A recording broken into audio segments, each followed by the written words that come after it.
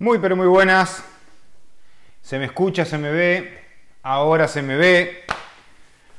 ¿Cómo andan? ¿Cómo han pasado la semana? Bueno, díganme primero que nada si estamos eh, escuchando y viendo a esta belleza. Em, a ver, a ver, a ver, a ver. Cuéntenme, acuérdense que, que yo tengo un pequeño delay con el tema de los mensajes, pero seguramente en breve los tenga ustedes ya con mejor eh, feedback. Bárbaro, Martín, bien de bien. Bueno, ¿cómo han pasado? Eh, espero que bien. Vamos a ver cómo nos va hoy en cuanto a cantidad de gente. Ahora les voy a mostrar eh, una, gráfica ahí de, que, me, proporciona YouTube en, los videos y qué sé yo, pero es de la transmisión en vivo pasada, que me parece que está fantástica porque... Ya van a ver, miren. A ver, ¿ven ahí la gráfica? ¿Para ese lado? Bueno, yo si se fijan en esta gráfica, eh, mantuvimos casi durante las dos horas de, bueno, la charla pasada, las 150 personas, fluctuamos entre, yo que sé, 160 y 140 en prácticamente todo el largo del, largo eh, vivo de la vez pasada. Y eso, bueno, me parece que, que está buenísimo, que, porque demuestra que por lo menos esto genera interés eh, y ustedes, bueno, se entretienen, eh, se informan o qué sé yo. Eh, bueno, más allá de eso, vieron que durante la semana puse ahí una suerte de encuesta para preguntarles a ustedes, a ver un poco, si preferían que las transmisiones, hola Chiche, ¿cómo va? Las transmisiones fueran los días domingo o los días sábado. Yo creo que yo creo que tenemos que fijar un día fijo en la semana. Para mí esto de las transmisiones en vivo tiene que tener eh, religiosidad, por así decirlo, porque me parece que es, eh, es la manera más eficiente que yo encontré por ahora de poder mantener un contacto fluido con ustedes. Incluso es más eficiente eh, que, la, idea que había tenido cuando armé esa suerte de lista de, reproducción de preguntas y respuestas, que en realidad tengo como 80 preguntas para responder. Eh, pero bueno, que, las voy a hacer, lo, voy a responder, no sé si las responderé en videos y las subiré a esa lista, o si, no sé, aprovecharemos estos, estos vivos para, para ir respondiendo esas preguntas que muchas datan de, no sé, seis meses atrás. Eh, pero bueno, nada, ya les digo, me parece que es importante establecernos eh, una suerte de frecuencia eh, a respetar. Lo que no sé si siempre voy a poder respetar es que sea el domingo, porque bueno, el domingo debería ser el día en el que yo puedo descansar, estar un poco con, mi familia y qué sé yo. yo vivo pared por medio del, taller acá, o sea que no, o sea, aunque no esté trabajando, si tengo el momento, Em, perfectamente lo puedo hacer el domingo y lo disfruto un montón, pero en algún momento va a tocar que yo que sé, ese fin de semana haya tocado, haya tocado ir para afuera o qué sé yo, y capaz que cuando eso suceda, esos casos excepcionales, tal vez yo lo, voy a anunciar y voy a cambiar de día para cuando, para cuando eso sea. Bueno, una cosa que quiero aprovechar ahora, que es el principio de, todo, de esta transmisión, quiero agradecerle un montón a los eh, montones que están eh, pendientes o bueno, de repente ya viendo este, este directo desde España, desde Portugal, desde Italia y desde Francia. Fueron de los cuatro países que de allá, de, la vieja tierra, eh, yo sé que iban a estar mirando porque me pidieron los links. Me parece que ellos están haciendo un esfuerzo enorme porque para ellos es mucho más tarde, 11 y 12 de la noche por ahí. así que bueno, nada, eh, disculpen que para su horario estas transmisiones están saliendo un poco tarde, pero, pero bueno, nada, eh, les agradezco un montón y como siempre, los que no pueden ver la transmisión en vivo, esto queda grabado, o sea que pueden retomarla después y qué sé yo. Em, bueno, hoy vamos a interactuar más de lo normal porque en realidad eh, ya somos 112, ¿eh? ¿qué nivel? Bueno, bárbaro, buenísimo.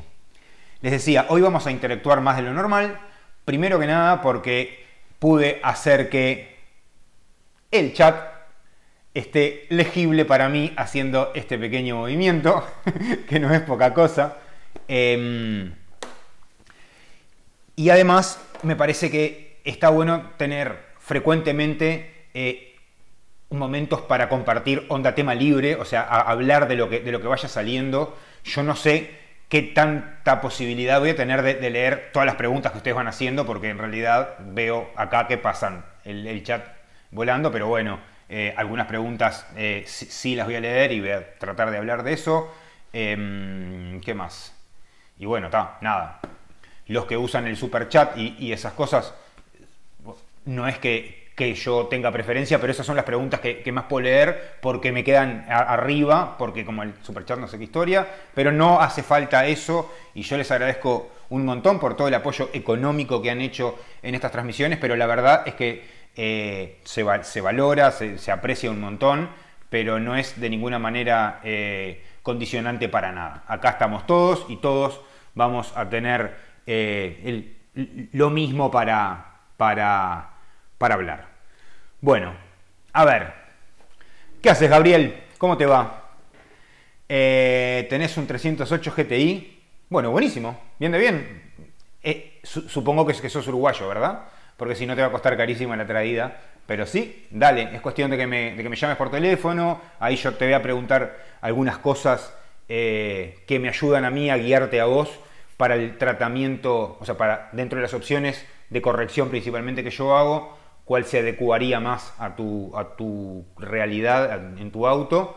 Y después hablamos un poco de, protección y así es como yo más o menos siempre me organizo. O sea, cuando hablo con ustedes, con ustedes potenciales clientes en realidad, eh, siempre yo le hago un par de preguntas ahí para yo tener una idea de cuál es eh, lo, lo, mejor para yo recomendarles el tratamiento indicado, por así decirlo. bueno, eh, buenísimo. Argentina siempre presente. Chile, México. Qué disparate, eh, qué nivel. Pa, Saben que es realmente para mí, o sea, es increíble esto de la internacionalidad de estos vínculos. Eh, yo siempre, yo siempre leo el uruguaya con SH y me mato la risa. Yo siempre fui un tipo tipo bicho, o sea, estar acá adentro, eh, en lo mío, qué sé yo, y de repente nos, o sea, este canal ha abierto un montón de, horizontes, o sea, yo creo que tengo un vínculo súper fluido con, ustedes, intento tenerlo, ya sea respondiendo preguntas, eh, texto, eh, algunos de ustedes me llaman por teléfono, otros WhatsApp, qué sé yo, pero, pero bueno, nada, me parece que está buenísimo esto, está buenísimo. Eh, a ver.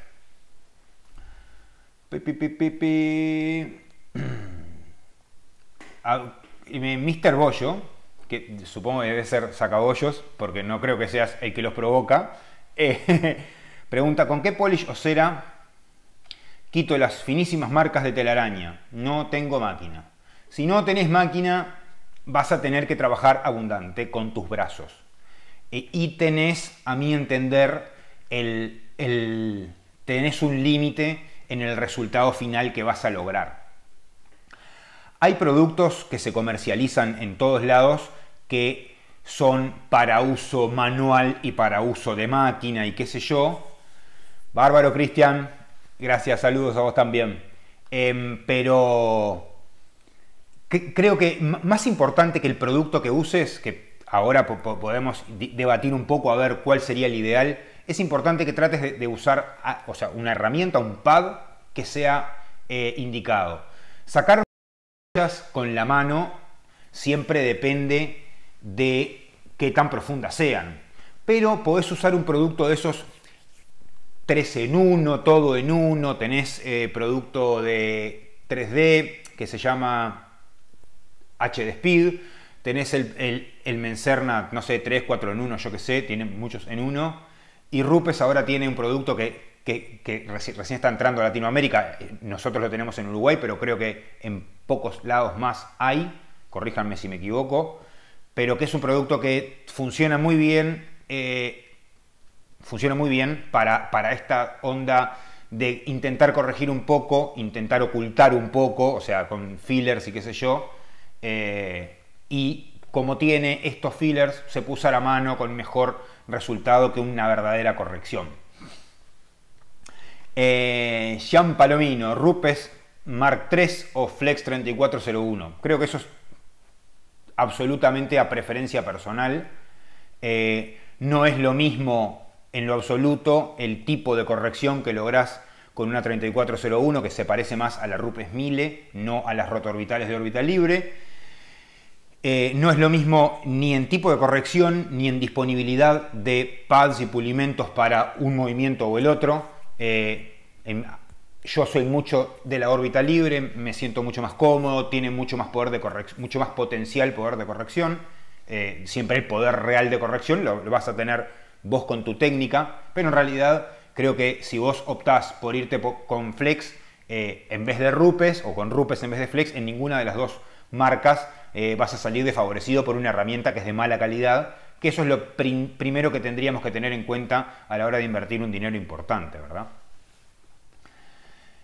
Eh, Nicolás Cristaldo, ¿cómo te va? ¿A partir de qué daño el barniz es recomendable lijar y cuándo? Bueno, eso es un tema ideal para esta semana, porque esta semana yo ah, no, se los puedo mostrar porque no puedo dar vuelta a la cámara, pero trabajé en un Audi A4 en, lo, en, en el cual por primera vez en muchísimo tiempo tuve que lijar defectos. Yo ya lo dije varias veces, pero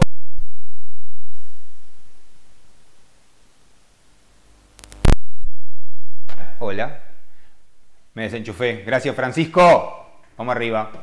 Les decía. Ay, casi me mato. Bueno, estoy torpe, ¿eh? Desenchufé el cable con la, con la pata y ahora casi me caigo. Yo con... Hola, hola.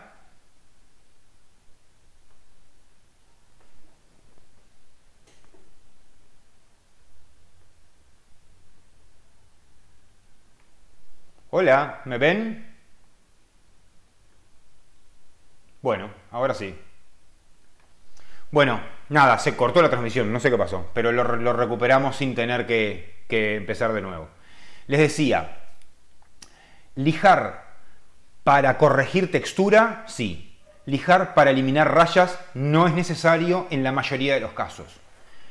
Este no fue el caso de este Audi, que las marcas las marcas que, tenía en el capó habían sido provocadas por un perro. Se le subió un, un perro al capó y en lugar de hacer rayas tipo corte en el barniz, o sea, que supónganse, no tengo nada para dibujar acá que sería lo ideal, pero supónganse que una raya, eh, si este fuera un plano perfecto, ¿verdad? Ahí. Sería una, una suerte de B, así, ¿verdad? Bueno, este perro, las rayas que provocó, en lugar de ser una B, fueron como una onda para abajo. O sea, una onda ancha, eran rayas tipo de, de, gran, de gran eh, medida, de vista, digamos, eran anchas, no eran profundas, pero casi que eran textura, ¿verdad? O sea, parecía más el barniz abollado que el barniz cortado por una raya. Em, en ese caso tuve que lijar, pero yo considero que lijar necesariamente, a mi entender, es para corregir textura y se puede optar por lijar para corregir defectos tipo, tipo raya, porque en realidad ya lo hablé en algún video, capaz que lo puedo repetir en algún momento, ahora algo más fresco, pero en realidad vos para eliminar una raya lo único que tenés que hacer es bajar el barniz hasta la parte de abajo de la raya. Cómo vos llegues a esta parte de abajo, es indiferente. Es indiferente para con la raya, no es indiferente para con la pintura. Si vos tenés muchas rayas que no estás pudiendo sacar por tu pulidora o por tu técnica con el, el pad de pulir y sabés lijar, capaz que podés bajar casi casi todo con eh, con lija para que no generes tanto calor con la pulidora tratando de llegar a la parte de abajo de esa raya, ¿verdad? Vale, ¿cómo te va? Eh, pulimentos de corte alto, Mencerna o Koch H9. Ninguno de los dos es de corte alto, eh, vale. Al menos en mi, en mi escuela y, eh, en mi práctica. Em, los dos son excelentes. El Mencerna 400 y el, el Koch H9 son como productos medio primos. Para, mí, para mí no son productos de gran corte ninguno de los dos. es más, lo, lo hemos, lo hemos eh, hablado, no sé si fue en video o fue en algún curso en realidad, pero hicimos pruebas y el Mencerna 400, que fue el que probamos en esa vez, no es un producto de alto corte. Hay productos que cortan más. Los dos son buenos productos. Creo que el H9, cuando vos usás rotorbitales, tenés una leve ventaja en la vida útil del pad, porque es un producto menos pegajoso en el pad, entonces el pad vive más porque vos podés eh, soplarlo y, lograr, y lograr, como es, eh, limpiar el pad entre carga y carga mejor que con eh, Mencerna 400, pero Mencerna 400 tiene la, la gran propiedad de que es un producto que si vos lo combinás con un pad tipo de refinado, en la mayoría de los casos, podés hacer los dos pasos con el mismo producto. Y esto que para un taller como el mío no tiene gran significancia, para mucha gente, muchos emprendimientos y todo, o sea, contar con un, solo producto es comprar una sola cosa en lugar de dos eh, y eso funciona. El Coach H9 yo lo he usado, no, no, les digo que mucho, pero yo que sé, capaz que desde que, desde que está acá en Uruguay usé 4 o 5 litros, pónganle. Em, a mí me pareció que es un producto eh, muy, muy, muy, muy, muy similar al, H8. Tal vez tenga la ventana de trabajo, o sea, la posibilidad de alargar eh, el paso que estamos haciendo eh, un poquito más clara que con el H9, pero no cambia demasiado. Pero los dos son buenos, con cualquiera de las dos opciones no vas a tener problemas. Otra cosa importante, ambos productos creo que funcionan eh, suficientemente bien, tanto en rotorbitales como en rotativas, entonces también son productos versátiles eh, por, ese, por ese lado, ¿verdad? Em, alguien me pregunta qué opino de los pulimentos Mothers que nunca hablo. Bueno, nunca hablo porque no tengo nada eh, interesante para decir sobre ese y sobre muchos otros temas en realidad. la marca Mothers no es una marca a no quiero, no quiero eh, entrar en juicio de valor, ¿verdad? Pero la marca Mothers, como por ejemplo la marca de, de la tortuga, eh, no son marcas comparables con lo que nosotros generalmente usamos, o por lo menos con lo que yo uso acá. Sé, que Mothers en Latinoamérica tiene muy buena entrada y muy buena representación, y la verdad es que un producto de corte cortará mejor o peor, cortará más rápido o menos rápido, será más o menos cómodo para usar, pero, todos cortan, o sea que hay mucha gente que lo usa, por algo será, eh, no es una marca en sí eh, que, que yo trabaje. A ver, ¿qué hace Fabio? ¿Cómo te va? ¿Qué velocidades recomiendo en la Rupes 21 y en la Hybrid para cortar y refinar? Te cuento.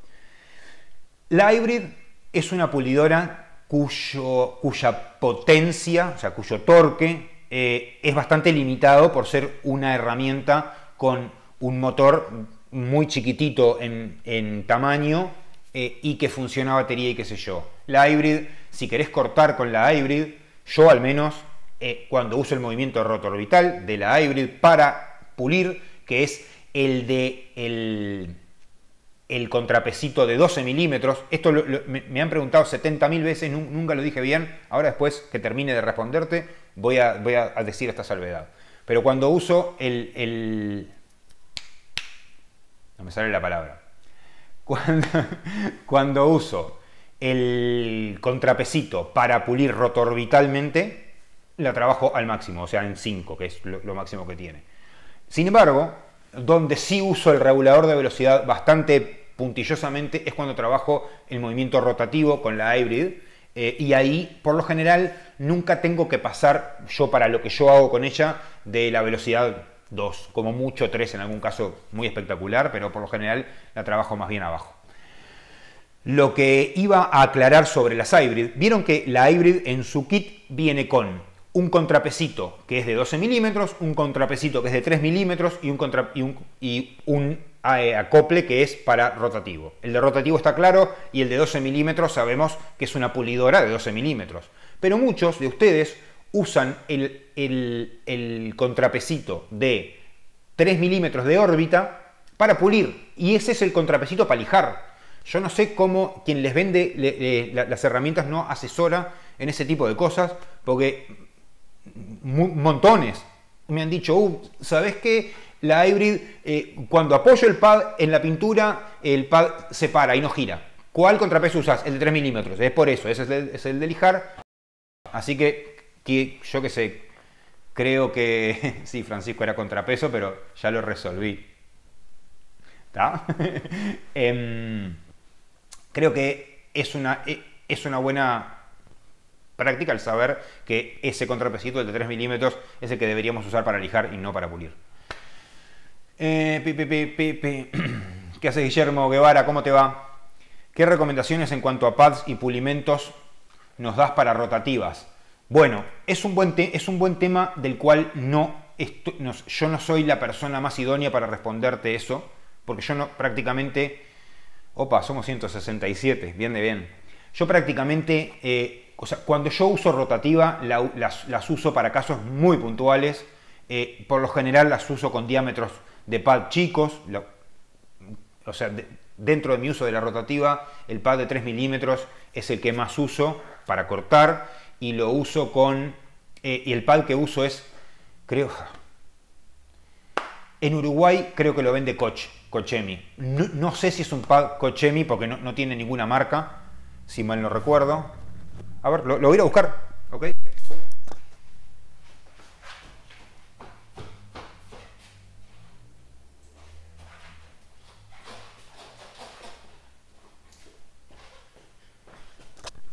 Volví.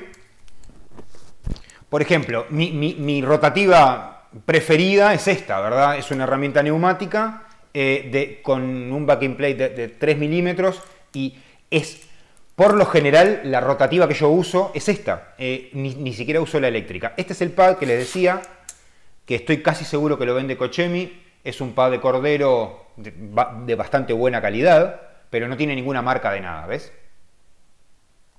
Este está usado eh, y, puede que no sea exactamente así en la bolsita, pero pero está, es, es lo que yo uso. Creo que Corderos de buena calidad, hoy por hoy los conseguimos en, casi, todo, en casi todos los mercados latinoamericanos. Nosotros en particular con, bueno, nosotros, Rupes, o sea, el importador de Rupes a Uruguay, yo no soy el importador, yo sí soy un distribuidor, que porque tengo mucho vínculo con, los retailers, tipo, muevo bastante la marca, pero Rupes, o sea, con Rupes vamos a traer unos pads de cordero para rotativa que son muy parecidos a los corderos para rotorbital, que ustedes los conocen, si no, me levanto nuevo y voy a buscar uno. En realidad son pads que, que tienen una interfase de espuma, que a mí me encanta, yo usaba ese tipo de pads mucho antes que Rupes adoptara esta, esta digamos, tecnología de construcción de pads de cordero para sus rotorbitales. Yo usaba unos chinos que eran una porquería, pero me gustaba tanto el, tipo de corte que lograba con ese pad, todavía tengo alguno, ahora se los muestro, eh, que en un momento los compraba de a, no sé, supónganse 20 pads, que para la época era bastante. Eh, así que bueno, espero haberte respondido más o menos bien. Eh, me preguntaste también por los productos, mm, productos para rotativa, creo que los Mencerna sería lo que yo eh, usaría por, defecto, porque son, o sea, Mencerna es, creo yo, la fábrica más grande o la más importante de, eh, abrasivos en el mundo. Son, es una marca alemana, hacen un montón de cosas, o sea, nada que fabriquen ellos va, a, ser, va a ser medio pelo, o sea que si, si, tenés para elegir, Mencerna no es muy caro. Eh, creo que también está en todos los mercados. Así que bueno, a ver. Jorge Z, me haces una pregunta eh, que está bueno que, me la hagas porque eh, Jorge me pregunta, me, dice que hable sobre desinfección de interiores ahora en este momento que estamos en pandemia. Yo a muchos de ustedes que me, lo han preguntado decenas de veces por, por, privado, les respondo que yo con mucho gusto les puedo contar lo que yo hago, pero de ninguna manera lo que yo digo está suficientemente eh, bien conceptuado, o sea, de, mí mismo y para mí mismo, como para yo pararme acá a decirles que tienen que desinfectar así o asá eh, las cosas. Eh, para mí esto es un tema delicado y a mí nunca me gusta hablar sin propiedad. O sea, o sea si no sé, exacta, si no sé te digo que no sé. Es lo más, lo más lógico del mundo. En, este caso de las desinfecciones, no es que no sepa, porque la verdad es que me informé todo lo que pude y pude informarme bastante, Bárbaro Guillermo.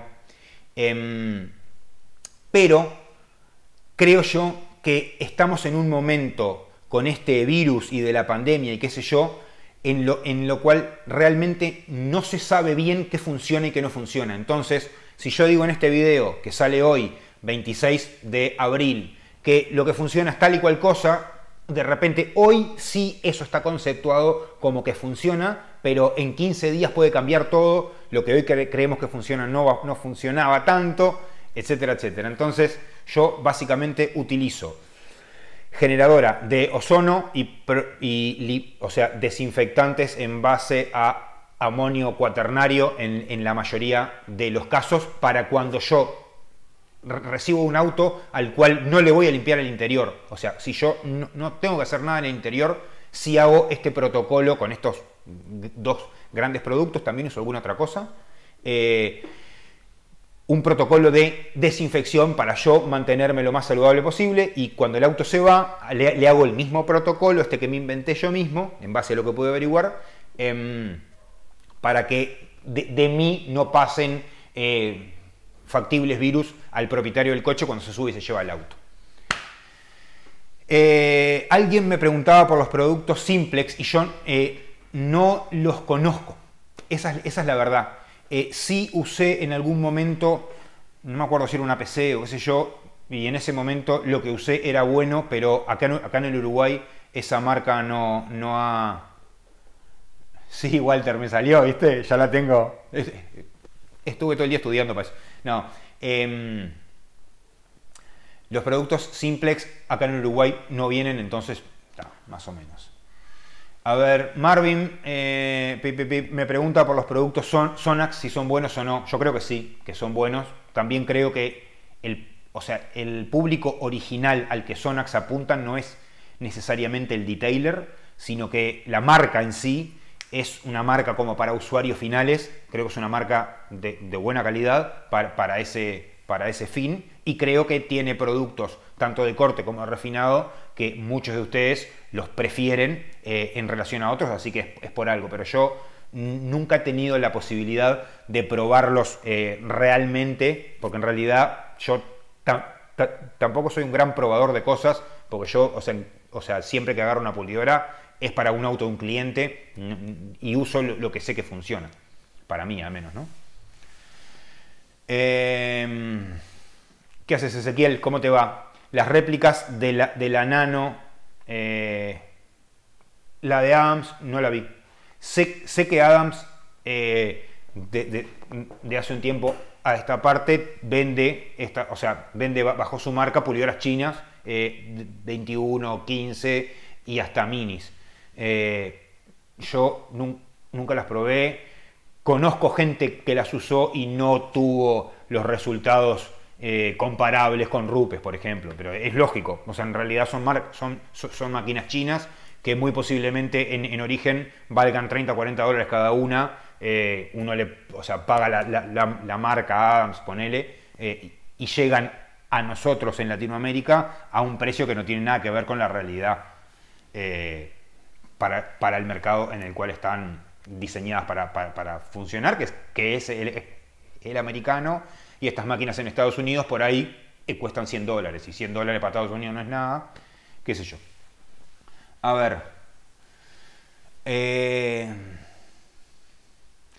Desmachadas del Meta. Opa, qué nombre. Lo tuve que leer atentamente. Los productos 3M eh, también estamos, o sea, 3M fabrica pulimentos enfocados para el taller de chapa y pintura, no para el detailer. Y creo que eh, por eso es que cuando le preguntas a un detailer como, como yo, ponele qué le parece el producto, por lo general te van a decir que es en tecnología viejo, que es malo y qué sé yo. Yo no creo que sea malo, porque, o sea, si esta marca tan grande hace un producto malo, tipo, estamos en el horno, pero, pero sí no es para para este tipo de laburos finol y así, que estamos buscándole la mayor reflexión de la pintura, qué sé yo, sino que son más bien productos que buscan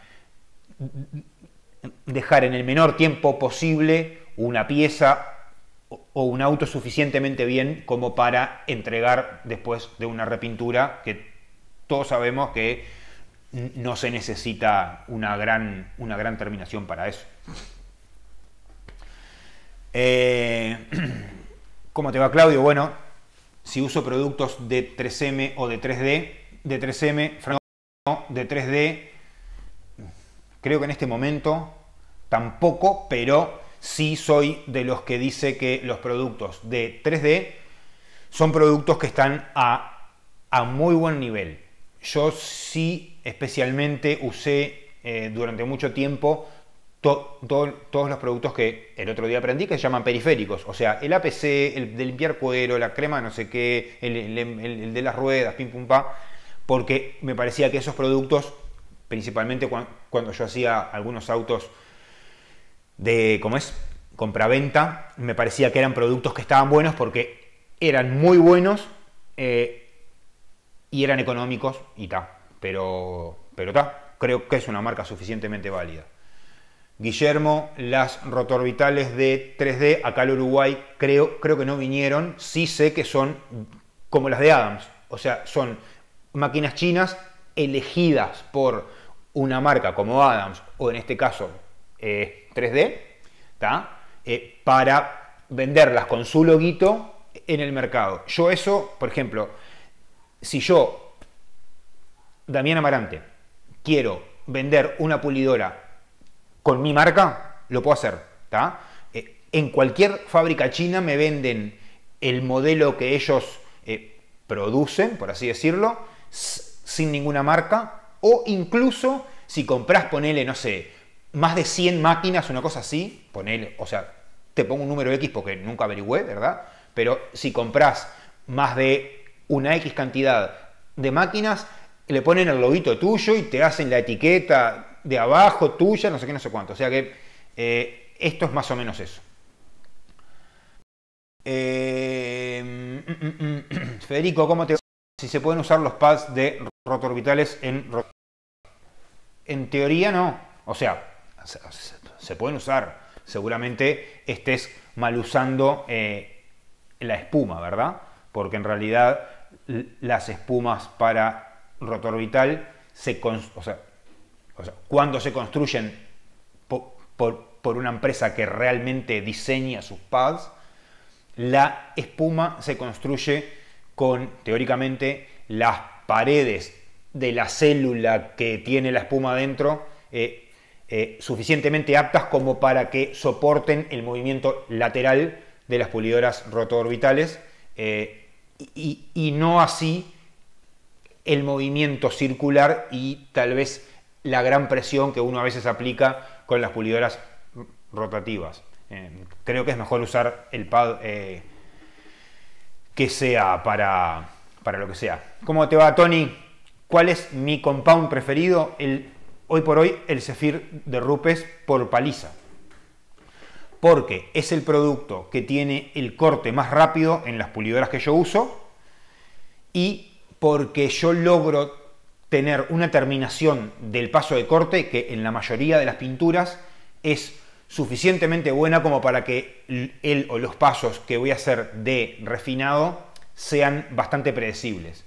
Eh, por eso elijo ese producto que la verdad es que es súper, súper, súper eh, bueno y muchos de nosotros ni siquiera los conocíamos hasta hace poco tiempo o no los conocemos porque en nuestro país Rupes no entra lamentablemente, como pasa por ejemplo con Argentina. Eh, a ver.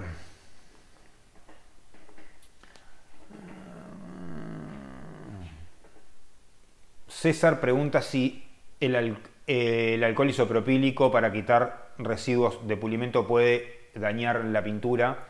Yo, yo escuché este tipo de, afirmaciones. No es, o sea, creo que no es que la dañe, pero creo que si vos te pasás de alcohol en tu mezcla, la verdad es que no sé ni cuál es el porcentaje que, limítrofe, digamos, pero lo que, lo, que, lo que hace es que se ablanda la capa superior de algunas pinturas automotrices. La verdad es que yo, como, como yo lo uso, nunca tuve, nunca tuve problema. Bueno, a ver. bueno, de eso mismo. Eh, CW, bien ahí. Mañana, para los que no saben, tenemos el primer seminario de, Rupes eh, oficial para Latinoamérica. Esto se dice rápido, pero en realidad que una marca como Rupes tenga en cuenta Latinoamérica como un mercado, porque para ellos somos un mercado, ¿verdad? Lo suficientemente importante como para que eh, designen personal oficial que trabaja en Milán, que están por todo el mundo, o, sea, son empleados, RUPES, qué sé yo, eh, designen personal de ese tipo para darnos un seminario a nosotros, latinoamericanos, a mí, primero que nada, me llena de orgullo porque yo tengo, tengo un poco que ver con esto de Rupes. Y, como hay algunas, algunos miles de personas, parece increíble decirlo, pero es así, que, que, me miran, muchas veces, eh, bueno, nada, muchas veces nada. Yo creo que eh, es un orgullo que Rupes nos haya tenido en cuenta y todo viene indicando que vamos a eh, romper todos los números de estos seminarios, porque en un principio nos habían dado 500 cupos para el seminario por Zoom, digamos, porque es por ahí, es un webinar. Los 500 cupos iniciales los llenamos en poco más de dos, dos o tres horas. Entonces, nosotros, los que, que estamos en Latinoamérica, que dentro de los que me acuerdo estoy yo, está José de Chile, está Franco Lombardo de Argentina, eh, bueno, no sé, hay gente de Perú, hay gente creo que de Colombia, hay gente, no me animo a decir de Ecuador, pero si no es por ahí más o menos, o sea, habemos muchos. Le pedimos a Rupes a ver si ellos no podían aumentar su cupo de cupos para el seminario nuestro, porque los 500 cupos lo habíamos llenado rápidamente. Nos dijeron que sí, lo subieron a 1000. Se pueden imaginar que esos 500 cupos extra los llenamos en un ratito y al final se terminaron anotando unas 1700 personas hasta antes de que Rupes cerrase, digamos, eh, la posibilidad de inscribirse. O sea que estamos muy por encima de lo que Rupes esperaba que Latinoamérica le podía dar por lo cual, además, para los que no vayan a poder ver esta conferencia por Zoom, porque no se anotaron, les recuerdo a todos que es mañana lunes a las 5 de la tarde, hora Uruguay. Em, creo que esto significa 4 de la tarde, hora Chile, y creo que esto significa 3 de la tarde, hora Perú, qué sé yo, pero bueno, o sea, búsquenlo a las 5 Uruguay. Los que no lo pueden ver por Zoom porque no están anotados, lo vamos a retransmitir en directo por Facebook. Todavía no tengo claro si, eso puede salir por mi página de Facebook o por mi, usuario Damián Amarante de Facebook o cómo, pero yo cuando lo sepa lo voy a avisar debidamente, eh, pero cuantos más participemos, eh, mejor, porque es mejor para, para, nosotros tener una buena imagen hacia la marca. A ver, pasan preguntas, pasan preguntas y ta, me quedo, me quedo me quedo corto de, poder contestarles a todos. Jean Palomino García me pregunta si he probado los productos Farecla. Farecla, eh, no. O sea, me parece que cabe la respuesta que dimos como para, como para los productos 3M. O sea, son productos diseñados, a mi entender, o por lo menos los que yo conozco, eh, son productos diseñados para el taller de chapa y pintura. No, no se aplica mucho a un emprendimiento como el mío o como el de muchos de ustedes que están más para el detailing. Supongo que deben ser buenos porque se venden mucho. O sea que funcionar para, para el público al que están dirigidos deben funcionar. Limpieza y desinfección de vehículos, Seba, no sé qué. Te saludo. Hola. A ver. Sebastián, si en la hybrid se puede usar el pad de, de 2 pulgadas con rotativo de 12 milímetros, mm, no sé bien a qué te referís. O sea, el pad de 2 pulgadas de la hybrid es para el movimiento rotativo por, y, como hablamos hace un ratito, el movimiento rotativo que es para pulir con un pad es el de 12 milímetros. Si vos la usás, si vos usás el pad de Rupes, o sea, el de 2 pulgadas, en la hybrid, con el movimiento de 12 milímetros, no se frena. O sea, no, no vas a tener ese problema. Ya de repente, si vos pones otras cosas, cuando uno se va de lo que es el sistema para el cual las herramientas están hechas puede funcionarte o no. Em, ¿Qué haces, Cristian? Cristian recién se compró la Rupes 15 MK3, así que felicitaciones primero que nada. No, nos pregunta si eh, conviene hacerle la modificación de la famosa arandela eh, que yo incluso en algún momento lo hacía en mis máquinas para cuidar el encausador de goma, que es el que roza con el plato y se, desgasta. Bueno, la verdad es que no tenés por qué hacerlo desde un punto de vista eh, funcional. Las rupes, la MK3, más que más, pero las viejas tampoco necesitan que el, que el plato esté separado de el encausador para cortar más rápido. Eso, eso, eso no es así y, yo lo probé. Eh, yo en su momento lo hacía porque no podía conseguir el encausador de goma en mi mercado, en Uruguay, eh, para, o sea, porque el encausador de goma cuando roza con, el backing plate se, desgasta. Eh, hoy por hoy, como tengo encausadores de goma, porque nosotros traemos rupes con, con, toda la línea, no, no lo hago más. Ezequiel, ¿cómo te va? Me estás preguntando si se puede eh, laburar 100% con rotorbital. Es lo que yo hago. Eh, o sea que sí, se puede. Eh, y, y al, a, diferencia de lo, que, de lo que muchas personas creen, muchos, muchos profesionales creen, eh, trabajar con rotoorbitales es más rápido que, con rotativa. Está perfecto los que hacen el paso de corte con rotativa, porque tal vez no tienen tan claro el funcionamiento de la rotorbital como para poder cortar a la velocidad comparable con la rotativa o por ahí son los número uno del mundo con la rotativa, entonces superan cualquier lógica. Pero en realidad yo, por ejemplo, trabajo 100% eh, con, con, con, con rotorbital. Cuando yo uso la rotativa es para meterme generalmente con la híbrido, con la de 3 pulgadas que mostré recién, en lugares en donde el desplazamiento lateral de, la órbita me molesta. Entonces yo ahí uso la, rotativa porque la trabajo más como para, para poder acercarme al milímetro a lo que quiero cortar eh, sin tener la órbita que, me, que te, desdefine el borde, ¿verdad? A ver. Ezequiel me dice si uso rotativa hidráulica. No es hidráulica, es neumática. Eh, o, sea que son aire, pero uso también eh, las rotativas eléctricas. Cada vez menos porque en realidad mi, neumática es más cómoda, o sea, en 3 pulgadas, que es lo que yo uso, es más cómodo tener una pulidora chiquita que, semejante, máquina, pero uso cualquiera y el movimiento rotativo no varía de una pulidora a la otra, o sea, siempre se va a mover igual O sea que uses lo que uses, es aplicable para, todo. Eh, bueno, a ver. José Alexander me pregunta qué opino de la marca Meguiars y qué opino de la marca Xion.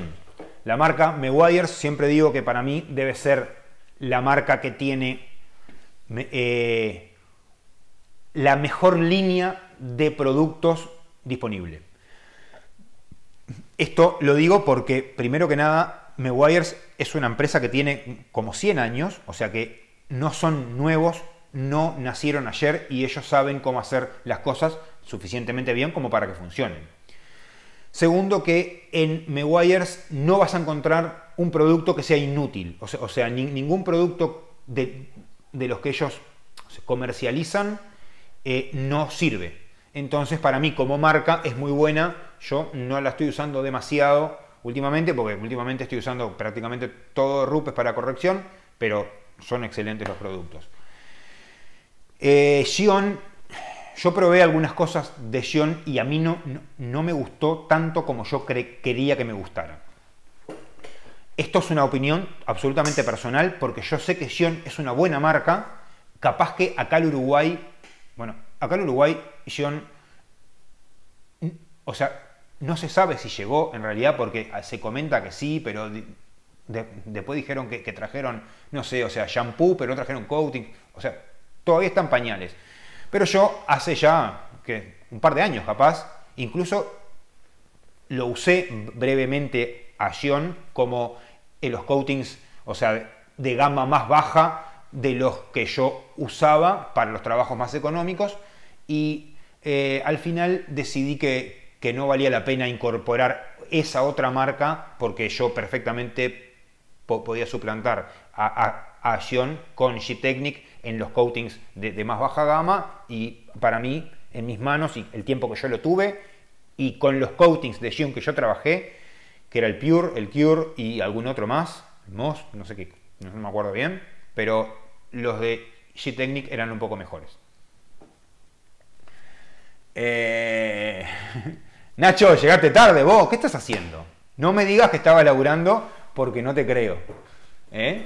Bueno, no te preocupes, eh, después te hago ver toda esta cantidad de minutos eh, obligado.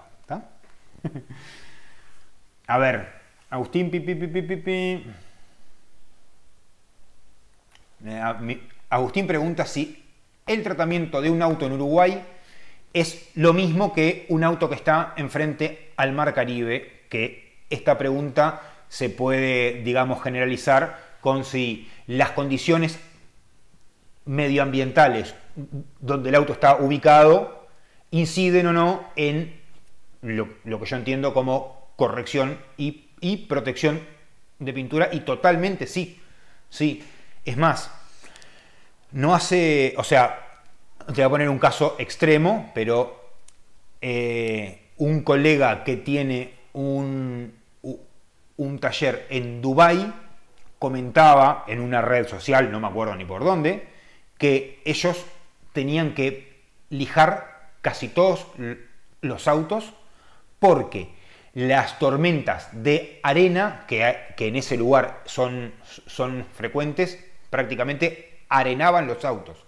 Entonces, ahí tenés, o sea, una diferencia, o sea, súper extrema entre, entre lo, o sea, los diferentes lugares y los daños que se le generan a la pintura.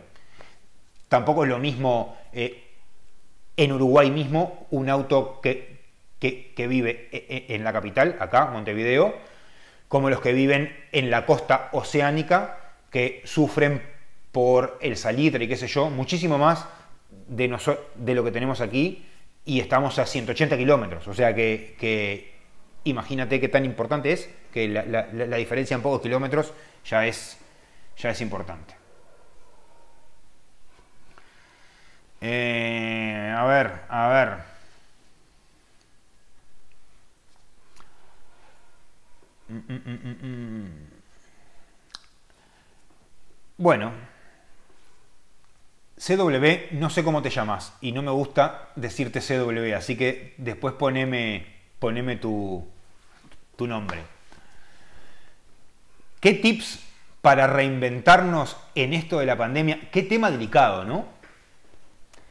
Eh, yo, por ejemplo, o sea, yo, o sea, todo lo que hice desde que el coronavirus llegó al Uruguay fue intentar eh, tener el emprendimiento eh, lo más sanitario posible. Mi emprendimiento, o sea, mi ambiente siempre fue un ambiente muy limpio, muy pulcro. Acá nunca hubo mucho problema por ese, por ese tema, pero cuando llegó esto al Uruguay, yo eh, hice todo lo que pude por lograr eh, la, la, mayor sanidad posible no solo para mí y para, la, y, para mi cliente, sino para la imagen de seriedad que yo doy. Yo no creo, Cristian, bien de bien, está. Yo no creo, Cristian, que este sea un momento para aprovecharse de la gente o de las cosas. Y, esa es, un, es, un, digamos, es una línea muy delgada que, que como es, que a mí al menos no me gustaría cruzar. Algo hablé de esto en, creo que fue en el primer vivo, de algunas cosas que se estaban ofreciendo como, como la solución eh, para la sanidad en los coches y que eran una huevada, una estupidez grande como una casa. Eh, y nada, yo qué sé, creo que sí podés reinventarte o sea, sí tenés que reinventarte porque el detailer siempre está reinventándose porque si no te cambian las realidades del juego, te cambian los productos, te cambian las pulidoras, te cambian los barnices de, de los autos, o sea que siempre estamos acomodándote. El que te diga, yo pulo así hace 40 años y como hace 40 años que pulo así, soy el, soy el mejor del mundo. De ya te digo que, esa persona tiene, eh, tiene, un ego mucho más grande que, eh, que un, un, talento, digamos.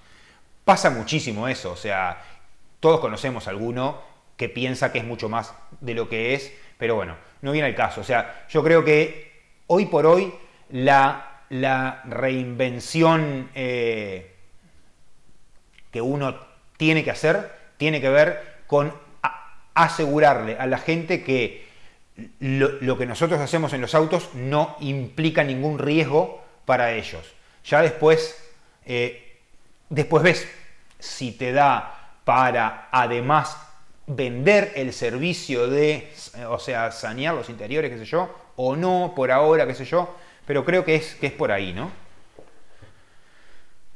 Ah, a ver. Jorge Z. Trabajar mucho con rotorbital causa daño en la salud por las vibraciones de la máquina. Puede ser, la verdad, puede ser.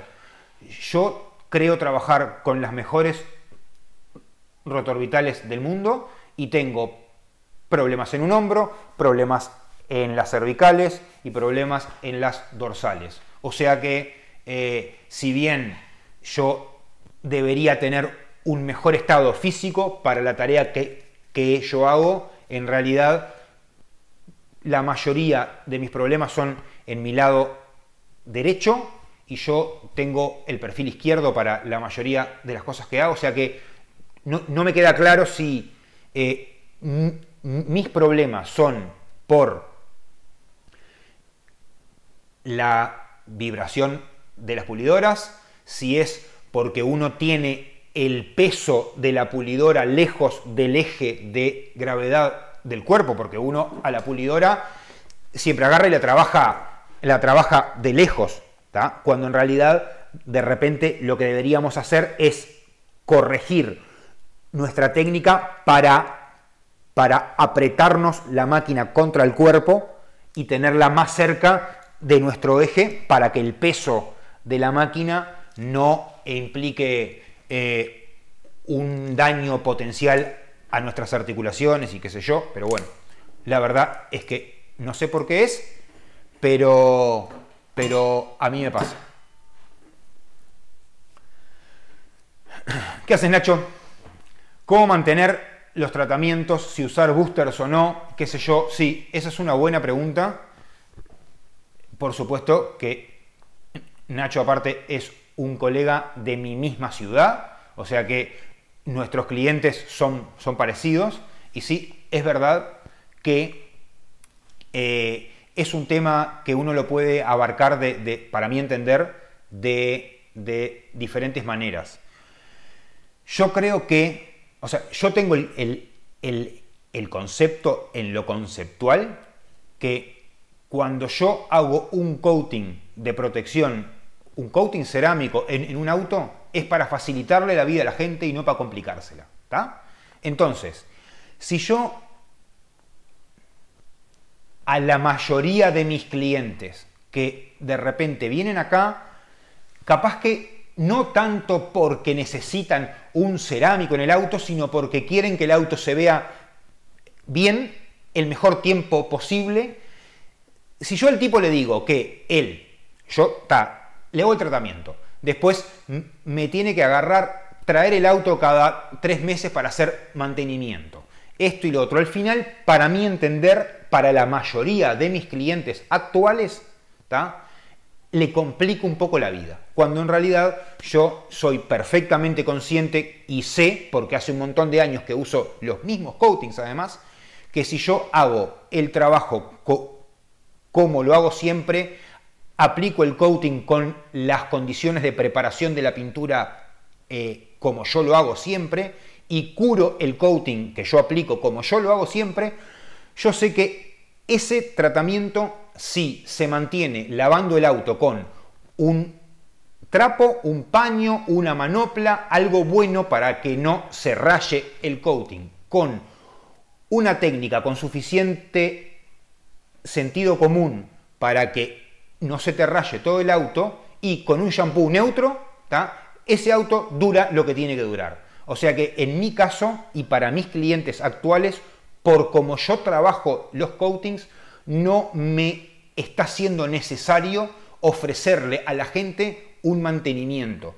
Eh, los, que, los que me conocen saben que yo no tengo el servicio de, de lavadero.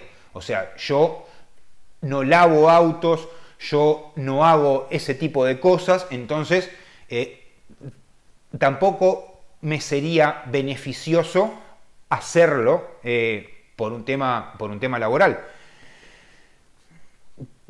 Que lo he considerado, lo he considerado, porque en realidad yo perfectamente puedo ofrecer un servicio que sí tenga mantenimientos y si yo al tipo le mantengo yo el auto cada un, lapso de tiempo X, yo puedo asegurarme de que ese auto puede estar con el coating vivo para siempre, porque si vos lo, que usás es un booster, básicamente lo que estás haciendo es le pones una protección arriba que dura lo, que te va a durar entre un mantenimiento y el otro. Y le pones una protección y le pones una protección y le pones una protección.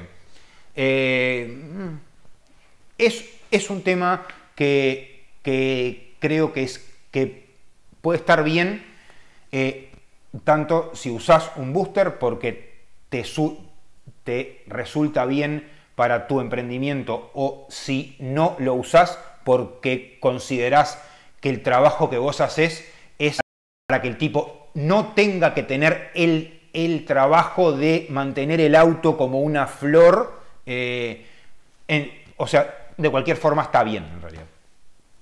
Buah, me estoy cansando de hablar, ¿eh? Mm, mm, mm, Víctor RR, la verdad es que la pregunta que me hizo Ramón Satur no, no la leí. Así que eh, si pueden me la repiten y con gusto la contesto. Eh, Florín, ¿cómo estás? ¿Todo bien? ¿Cómo quitar un cerámico del coche? Depende del cerámico que sea. Eh, hay algunas veces que tenés que lijar, hay otras veces que con un paso de, corte es suficiente, suficiente. Creo que eso va, más en. va más en, en cuál sea el coating, cómo lo hayan aplicado y por qué lo querés quitar, eh, que en otra cosa. Yo siempre probaría, o sea, con una suerte de eh, método de, de lo menos agresivo a lo más agresivo, si vos trabajaste alguna vez sobre una pintura con coating, te das cuenta rápidamente que, eh, que el coating, o sea, cuando, cuando el coating todavía lo tenés en la pintura, el producto se comporta increíblemente diferente a cuando el coating ya se fue. Víctor, que los pads de cordero dejan muchos hologramas. Supongo que te referís a las rotativas y supongo que te referís eh, a los pads de cordero de la vieja escuela, porque lo supongo nomás. En realidad, eh, el, que deja hologramas es, es, el operario, el que pule, ¿verdad? Y eso te puede pasar con un pad eh, de un tipo o del otro tipo. Y siempre, en alguna medida, cuanto más agresivo es el sistema de la rotativa que vos estás usando, más daño colateral que es, que, es esto del holograma eh, vas a tener. Si, si, vos usas un pad de los que el diámetro es un socotroco así, eh, no sé qué, seguramente porque vos sos súper agresivo con eso, salvo que tengas una técnica muy muy fina, vas a generar unos hologramas que son muy difíciles en esos casos de, remover. Después, si vos usás un pad de cordero, como les mostraba hoy, de este tipo, que es un buen pad, en un diámetro no sé qué, no sé cuánto, los hologramas los voy a generar igual, pero no son muchos hologramas, son unos hologramas cuya profundidad de la raya que el holograma genera es muy fácil para remover con un segundo paso. No sé si contesté lo que eh, preguntabas, eh, Víctor y Raúl. Ah. Bueno, a ver. Hola Guillermo. Me voy a tomar un mate y los voy a leer un segundo. Eh...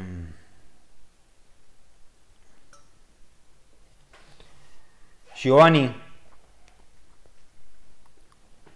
¿cómo estás? Sí, las marcas de agua son, son bravas, porque son bravas en los vidrios, son bravas en la pintura y es el talón de Aquiles de los coatings. Los coatings son bastante susceptibles a las marcas de agua, por eso cuando uno le explica al cliente cómo tiene que lavar el auto, Nacho, a vos que preguntaste algo por el estilo hace un rato, yo, por ejemplo, a los clientes les digo que lo laven con la técnica de los dos baldes, con un shampoo neutro, a la sombra y que siempre lo sequen. Y que cuando lo secan al auto y salen a dar una vuelta, que por algunos lados se le marca una gota del espejo y qué sé yo, que sequen esa gota, porque el agua siempre marca. De, de los vidrios, vos tenés pulidores para vidrio con unos pads que son para este, para este fin, que es cómo se saca esta contaminación, puliendo el vidrio. Otra cosa, a mí no me ha funcionado nunca. Los ácidos, esos que hay para eso, la verdad es que nunca tuve, nunca tuve mucha suerte con eso, por ahora por lo menos.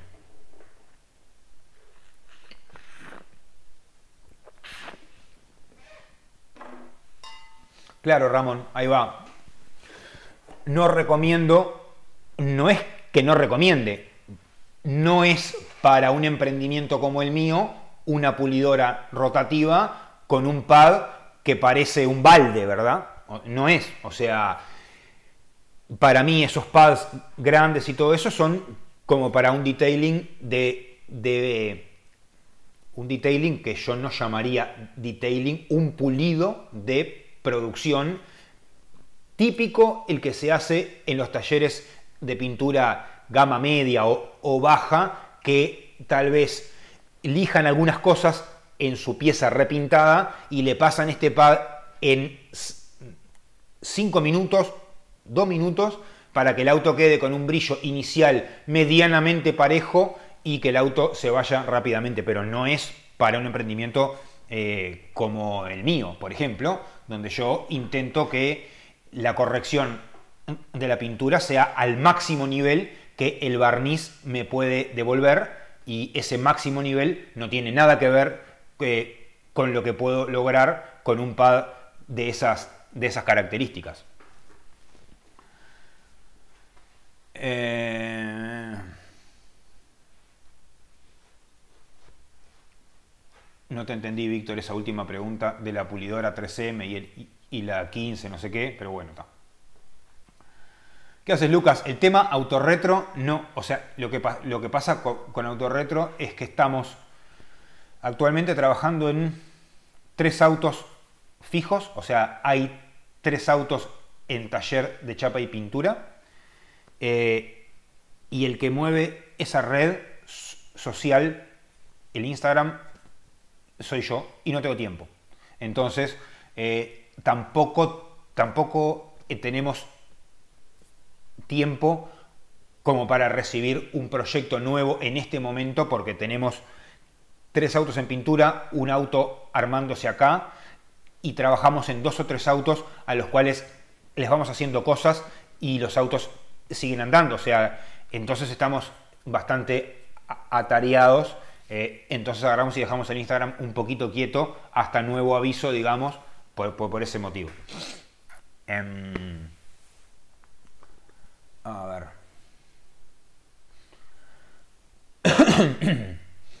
¿Qué haces, Vale? Eh, estás generando mucho polvo, seguramente sea con el producto de corte. Tendría que ver cuál es el producto de corte que estás usando como para arrancar.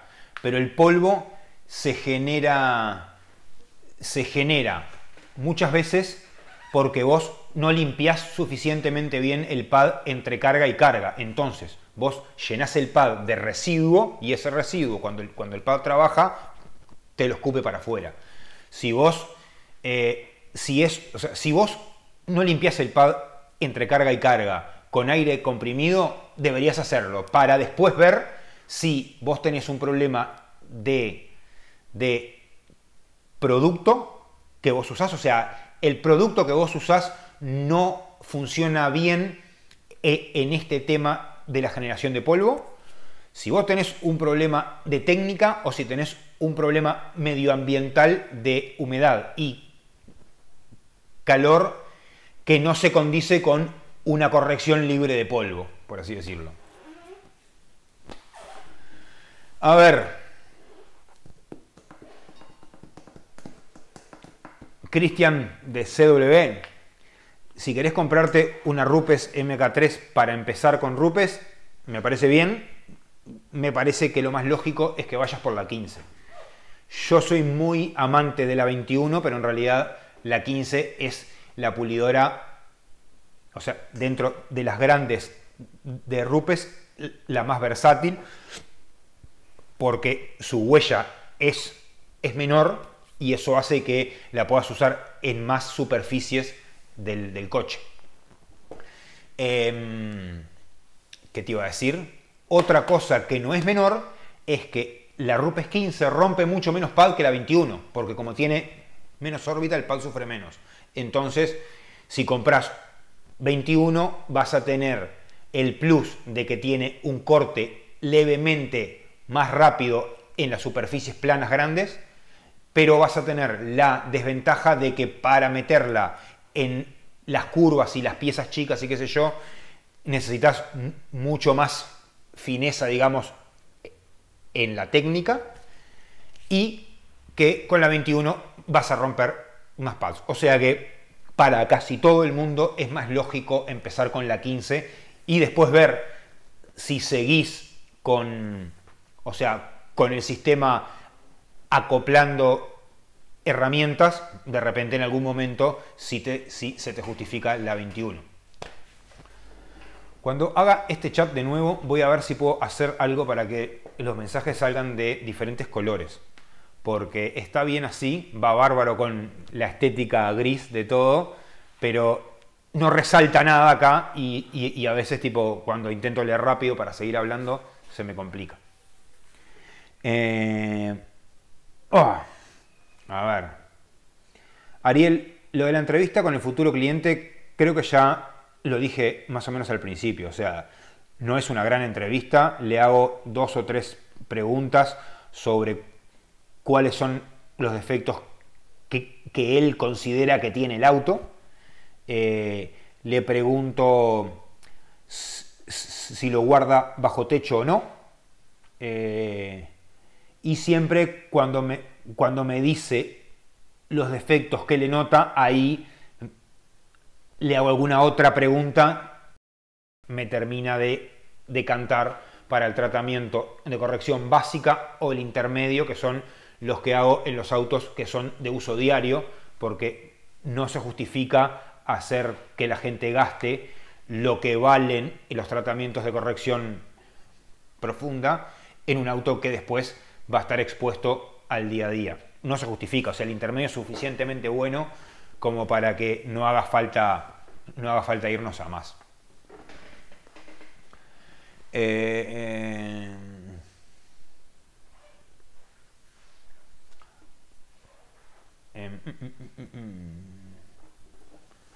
Godzilla Detail Pimping. ¿Qué opino de la nueva máquina de Lake Country, la U2 esta?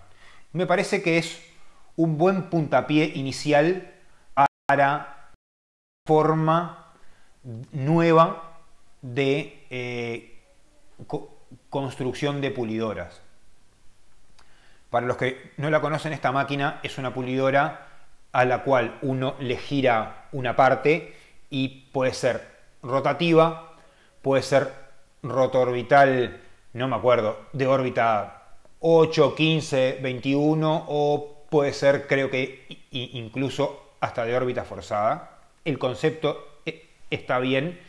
No creo que esta, que esta máquina sea la máquina que uno tiene que salir a comprar ya. Primero que nada, porque Lake Country no es una fábrica de máquinas. Entonces esta máquina lo más probable es que sea hecha en China o, o no sé dónde, pero estoy seguro que ellos eh, en su fábrica de pads no hacen pulidoras. Y segundo, porque dentro de las reviews de la gente eh, que yo considero importante, o sea, como para que me comenten cómo anda esta máquina, eh, creo que le falta un poco. Por eso te digo, o sea, ahí va, 8, 12, 15 y 21. Ahí va, Francisco, está bien. Por eso te está, pero, por ejemplo, está bárbaro, pero que vos tengas órbita de 8, 12, 15 y 21, pero con el mismo diámetro de pad, la verdad no es tan útil. ¿Entendés? Por eso te digo, creo que la idea está bien, creo que eh, seguramente si esta idea es bien captada por el mercado, van a desarrollarla eh, las personas idóneas, seguramente Rupe, seguramente Flex, seguramente, no sé, otra marca que hace pulidoras y que se dedican a eso y capaz que ahí podemos entrar a, pensar en que esa herramienta puede empezar a tener eh, cabida. Me estoy cansando de hablar. Hoy están tacaños, ¿eh? porque no veo colorcitos en mi pantalla.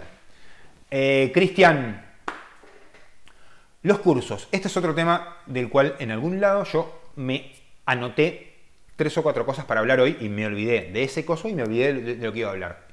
Los cursos era una de esas. Para los que no saben, porque hay muchísima gente que, no sabe, yo doy cursos. Yo soy trainer oficial certificado por RUPES desde el año 2016. Esto me da la potestad de yo dar capacitaciones donde yo, la verdad es que yo muestro y cuento y trato de inculcar lo, lo, que, lo, que, yo, lo que yo hago y convenientemente, coincidentemente, las cosas que yo uso actualmente son herramientas de Rupes. Entonces, hoy por hoy, más que nunca, se justifica que mi curso sea con el sello de Rupes como, como lo es desde 2016. Porque hoy cuando yo te cuento que mi paso de corte es con el pad de la Anita azul y el producto azul de Rupes, es así, ¿verdad?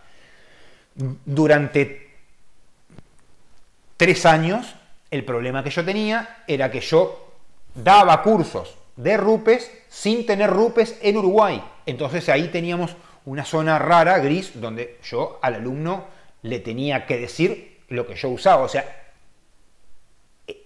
el sistema que yo tenía para Rupes, el sistema es la palabra clave que define todo, ¿verdad? Entonces, cuando vos no tenés los productos para usar el sistema de Rupes, se complica un poco todo el tema. Uno se arma su propio sistema. Hoy por hoy, gracias a Dios y la Virgen, tenemos el sistema de Rupes que la verdad no, no necesita eh, demasiado toqueteo.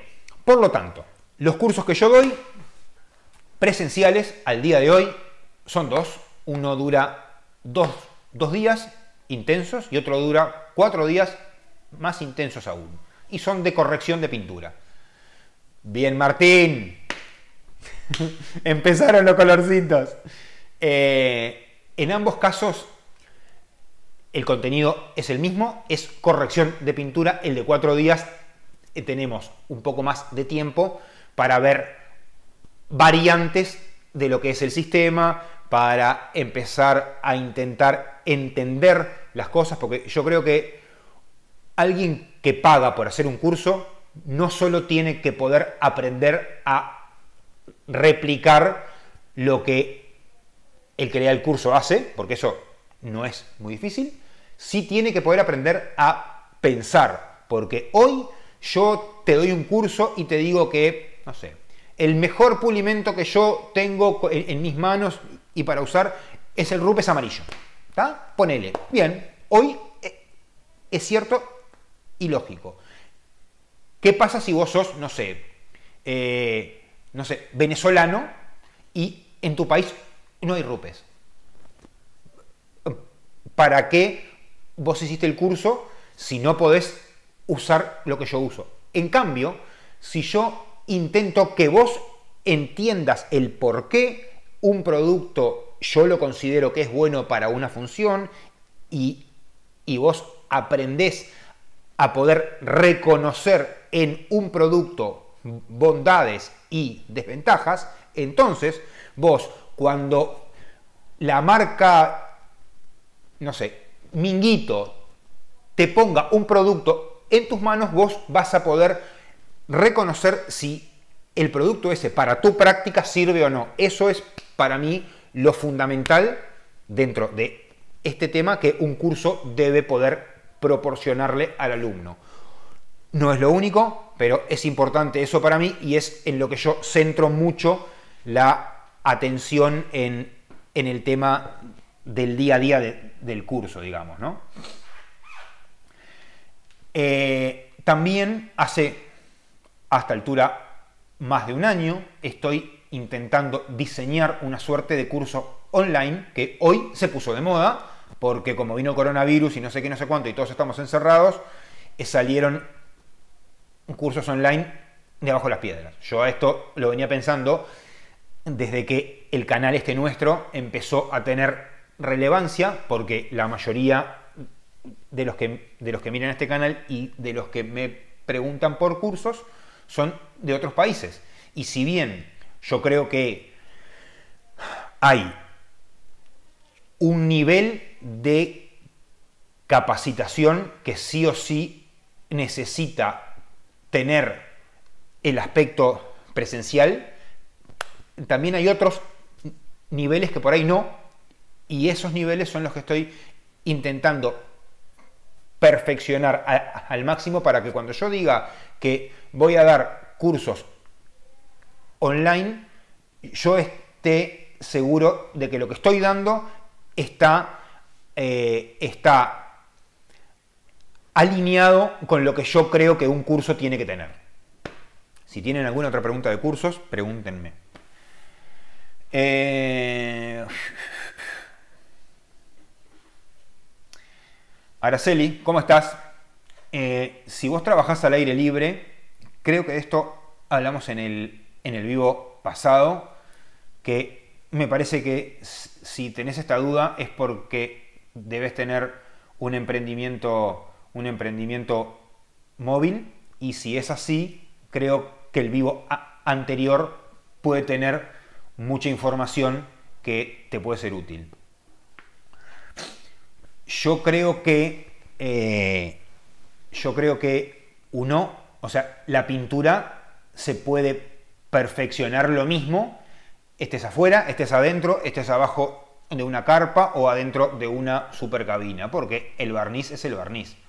Ahora, el que trabaja a la intemperie tiene un montón de, eh, de dificultades agregadas a la corrección, muchas de ellas son por, el factor climático que al que corrige una pintura a la intemperie le afectan y muchas otras son por el factor tiempo que uno que trabaja a domicilio no puede estar cinco días con un auto, ¿verdad? Eh, pero en realidad la pintura se puede perfeccionar, para mí entender, de la misma forma, o sea, se puede llegar al mismo nivel, solamente que para el detailer móvil por todas estas otras cosas, creo que es un poco más difícil de, lograrlo.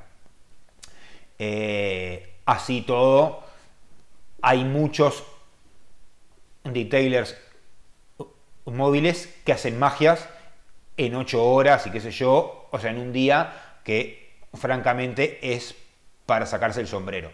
Eh, especialmente internacionalmente se ve más eso que en lo local por ahora, por lo menos, pero, pero bueno. Eh, a ver. Explayar el tema de los cursos. Los precios, Alejandro, no los voy a decir en un video, porque el video es válido para hoy, ¿verdad? Pero estos videos después quedan en el tiempo y eso al final confunde mucho. Es más, te digo, tengo este problema con preguntas que me hacen sobre videos míos que por ahí hice hace un par de años y cuyo, cuyo sistema que yo usaba en ese momento, Sebastián, vamos arriba, gracias, eh, hoy por hoy ya está en desuso por mí y la gente por ahí eh, todavía piensa que eso hoy es válido. Entonces, tema, tema dinero, los cursos que yo doy actualmente, si necesitas el, costo de ellos, me mandas un mensaje al privado o me llamas por teléfono y listo. Eh, creo que, que sí son cursos que están en un precio que, eh, que son lógicos eh, para lo que el curso brinda. Seguramente las capacitaciones online, por lo menos las primeras que voy a lanzar, van a ser de un nivel inicial, van a poder ser grupales, las capacitaciones presenciales mías son individuales y como van a ser grupales y qué sé yo, eh, van a ser significativamente más económicas eh, de lo que es un curso presencial eh, acá en mi taller. Ah, estoy cansado. Hoy, hoy estoy cansado porque vengo trabajando sin parar. ¿Cómo andas Frank de Perú? ¿Qué me parecen los pubs de Lake Country? Gracias, Pablo. Gracias. Eh, de Lake Country, yo tengo algunos pubs. Hay algunos que me parece que son, que son buenos, principalmente los de rotativa. A ver, déjenme ver una cosa.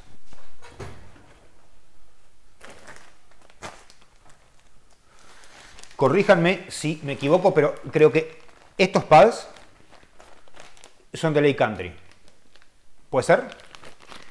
Si es así, son, son buenos, no son los mejores. Ya te digo, me gustaron más los de Coach Emi y estoy seguro que los de Coach se los fabrica a Coach otra marca, o sea que ni siquiera son pads de ellos específicamente construidos. Pero estos padsitos son buenos. Si entran a buen costo en tu mercado, están bien. Eh, los de rotorbital, especialmente las microfibras esas con la interfase azul, me parece, me parece que, ahí Lady Country intentó competir con los de Meguiars y no, no logró un producto de calidad ni siquiera similar. Y creo que el precio, al menos internacionalmente, es más o menos el mismo. O sea que, eh, ya te digo, estos me parece que son usables. No soy fanático de la marca en lo absoluto. Nunca me gustaron los pads que ellos hacen en espuma. Pero eso es un tema personal. O sea, no digo que sean malos, sino que, sino que, sino que yo, con mis propias herramientas y qué sé yo, encontré mejores, mejores opciones. Pero, pero está, creo que depende mucho de cómo vos eh, los puedas usar y, y, si, y si en tu mercado son pads cuyo costo sea competitivo, porque definitivamente no son los mejores pads del mundo ni cerca, o sea que eh, no tienen por qué tener un, precio premium, digamos. Eh, Camilo, ¿qué haces? Manuel, eh, de Sonax hablé ya antes y de CarPro me parece que es una buena marca, pero está. Camilo, la de Walt de 6 pulgadas, Ustedes en Argentina, supongo que vos sos de allá, no sé por qué lo supongo, pero está. Eh, la usan mucho y creo que, es una máquina que eh, la, la gran cantidad de detailers que la usan en el mercado es lo que le dan validez a esa herramienta, ¿no? Eh, yo nunca, nunca tuve, la verdad, porque en realidad cuando yo empecé a trabajar acá en Uruguay, todo este tema pulidoras en Uruguay era nulo. Yo tenía una pulidora china de las grandes, aquellas que pesaban 5 kilos y medio, 6 kilos. Y con esa máquina fue con la que inicialmente me lastimé el hombro. El hombro este que hasta el día de hoy lo sufro y lo peno. Entonces, como esa pulidora, o sea, como esas máquinas grandes me hicieron ese daño, cuando intenté ver cómo hacer para yo poder seguir en el oficio, tuve que ir, gracias Gonzalo, gracias, tuve que ir eh, con máquinas livianas, entonces me compré la Festool Shinex, que es una máquina extremadamente cara, creo que es, que es un escalón por encima de lo que puede ser, o sea, la de Wolf o la Maquita, pero es otro tipo de máquina. Eh, Gonzalo y todos los que eh, colaboran económicamente, estaría bueno que aprovechen eh, el cartelito azul para hacer preguntas con estas cosas, porque más allá de La Plata es lo que más veo cuando miro ahí. Entonces, los que quieran hacer, o sea, los que, los que donen y quieren hacer una pregunta, aprovechen este momento en lugar de hacerla más abajo porque capaz que se me pasa. Eh, Francisco, hay una igual rotor vital, puede ser. Acá en Uruguay no viene ninguna de las de igual. O sea que está. No sé. Alecos, ¿cómo te va? Vos sos uruguayo. Creo que sí. Terranova, acá en Uruguay, si entró, me, estoy eh, enterando ahora contigo, porque hasta hace poco tiempo oficialmente no estaba.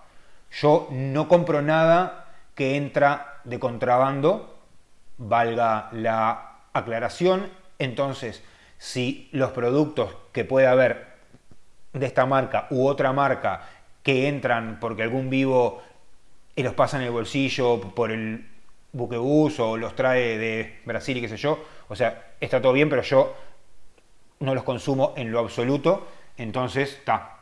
Eh, ahí va, ahí va. Eso, es el amigo de mi cuñado, sí, está. Y yo tengo un pedo bárbaro en la cabeza con la gente. Pero bueno, eso.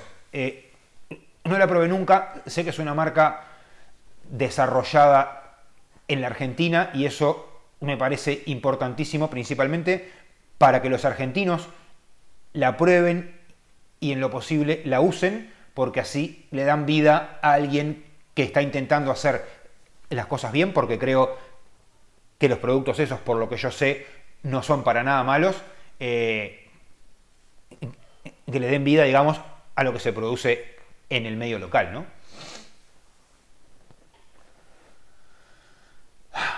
Eh, a ver.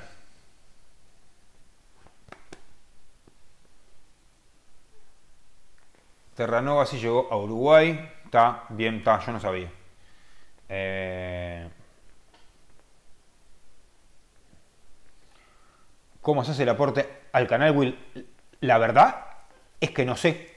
Que te ayuden los gurises que, que hacen aporte acá, que te indiquen, porque yo no tengo ni idea. A ver.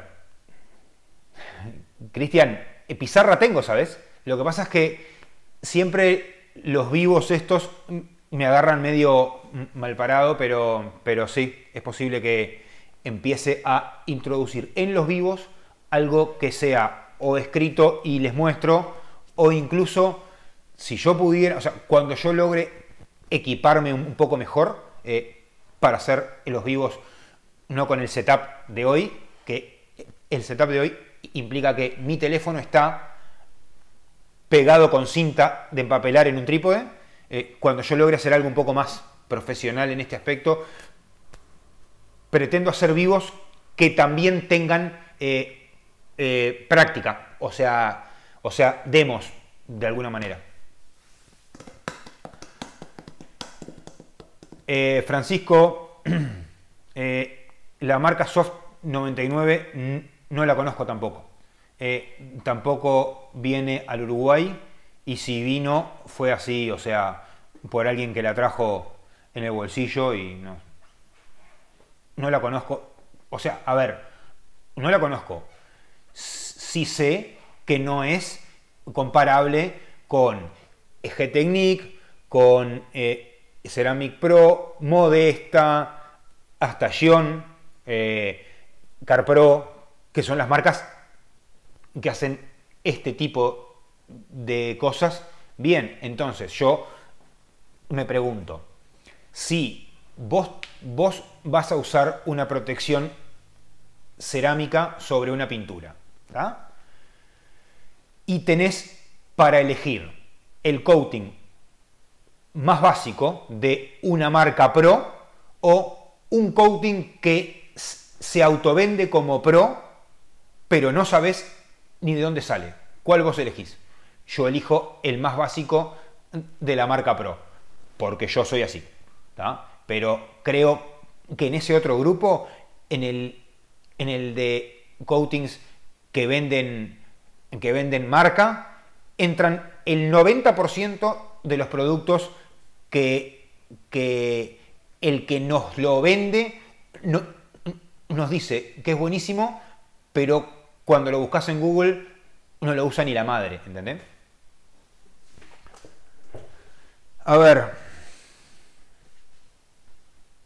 ¿con qué recubrimiento cerámico trabajo? Creo que la mayoría de ustedes ya lo saben, yo uso Ceramic Pro o G-Technique actualmente.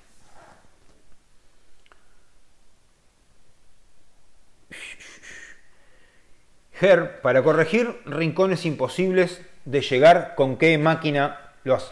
O sea, imposible, de llegar con máquina, ¿cómo lo haces? Eh, yo tengo una, una infraestructura en las herramientas que es bastante completa. Siempre hay lugares en donde no puedes llegar con ninguna herramienta.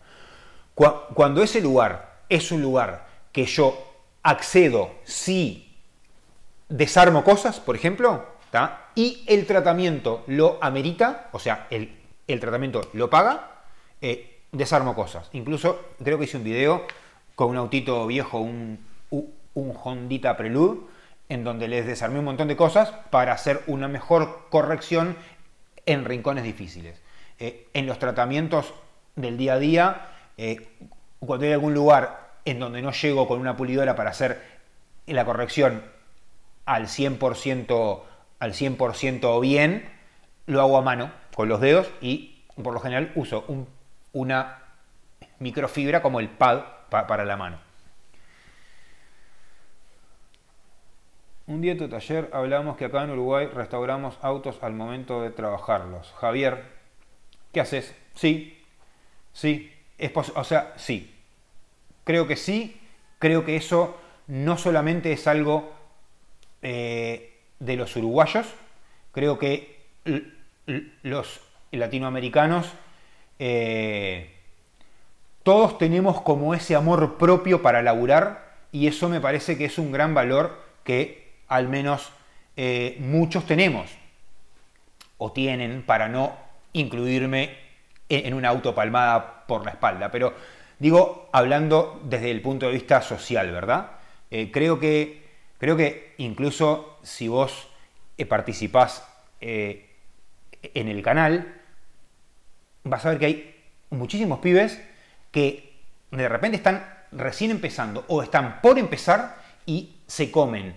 Los videos míos, eh, me hacen eh, preguntas en privado, hablan entre ustedes, o sea, los tipos están intentando de verdad aprender a laburar y creo que los que, los que o sea, creo que ese es el mejor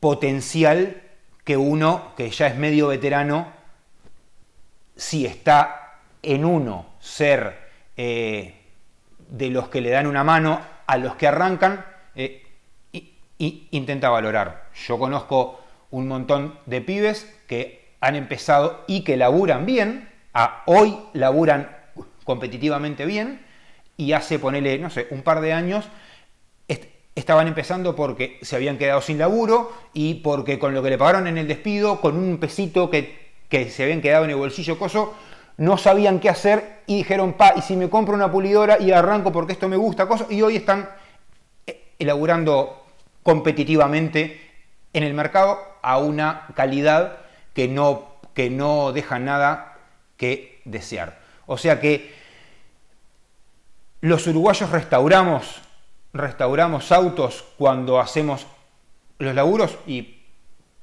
creo que, creo que los uruguayos que tenemos los patitos bien puestos en la cabeza, lo hacemos, lo hacen los argentinos y lo hacen en cualquier parte del mundo, para mí entender, porque si tenés amor propio, ¿está?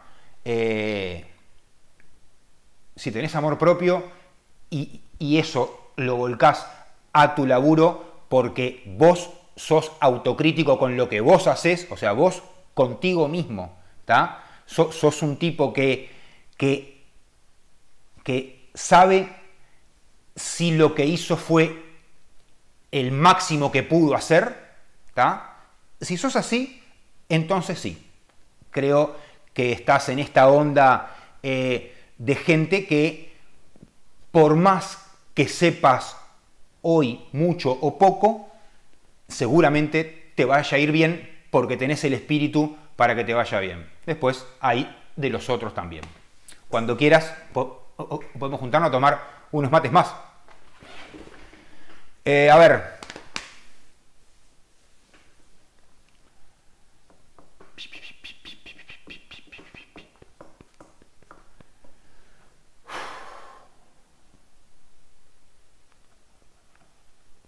ah, Ion, ¿cómo pulo entre las insignias? Uso una herramienta que se llama Autotris eh, para hacer ese trabajo lo mejor que se puede sin sacar las insignias.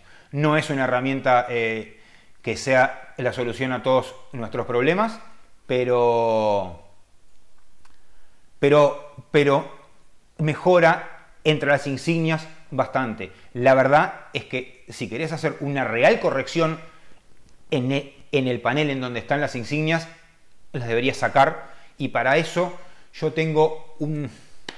Eso sí que no lo tengo acá porque cuando ordené esto perdí la mitad de las cosas. Pero tengo un...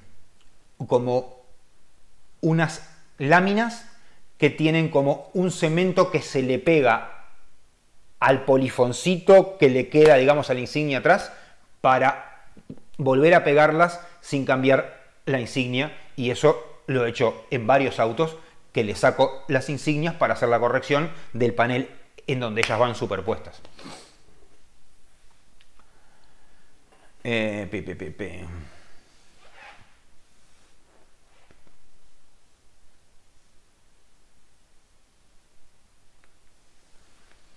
Sí, Darío, sí. Eh, Darío pregunta si, si, es posible dibujar en un corte transversal eh, la textura de la piel de naranja en la laca. Sí, o sea, supongo que sí. Eh, lo que uno en esos cortes nunca puede respetar, digamos, es la proporción de los espesores, ¿verdad? Entonces, es obvio que la piel de naranja está arriba. Eh, yo qué sé, o sea, no sé si será súper útil, digamos, ¿no? 101 eh, minutos de transmisión, 144 espectadores, ¿vamos bien? Bueno, vamos a seguir, vamos arriba, porque hoy tengo ganas de hablar. ¿Qué les iba a decir?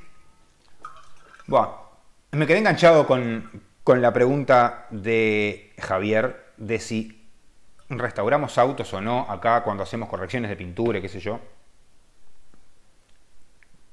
Creo que dije lo que tenía que decir, pero eso es algo, o sea, el, enfoque que uno tiene para el trabajo que uno hace, para mí es fundamental. Eh, es mucho más importante eso, pero mucho más importante que la técnica que vos tengas con tus propias manos. Y esto, mira.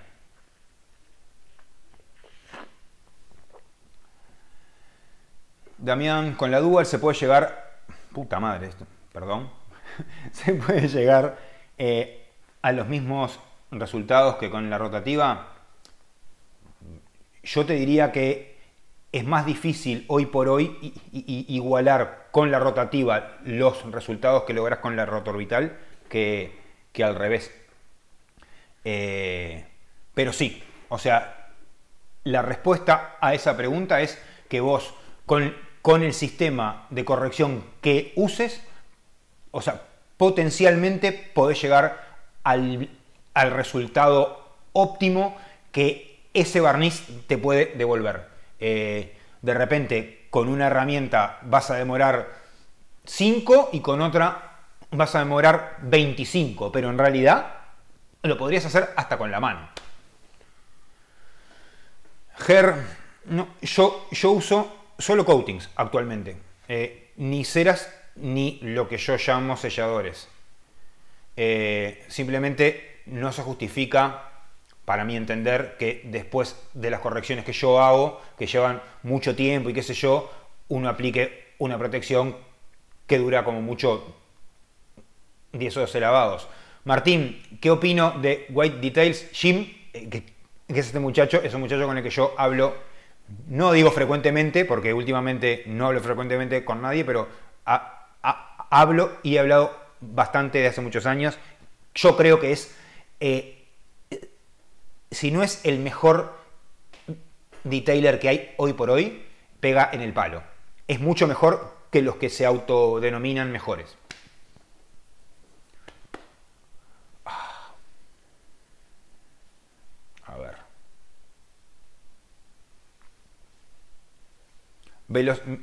Miren la pregunta de Francisco Santi. Velocidad indicada para cortar una laca dura con una rota orbital. El auto es un Vento 2009. El Vento de 2009 con su laca original no es una laca dura. Es una laca intermedia hacia dura, pero hay lacas mucho más duras.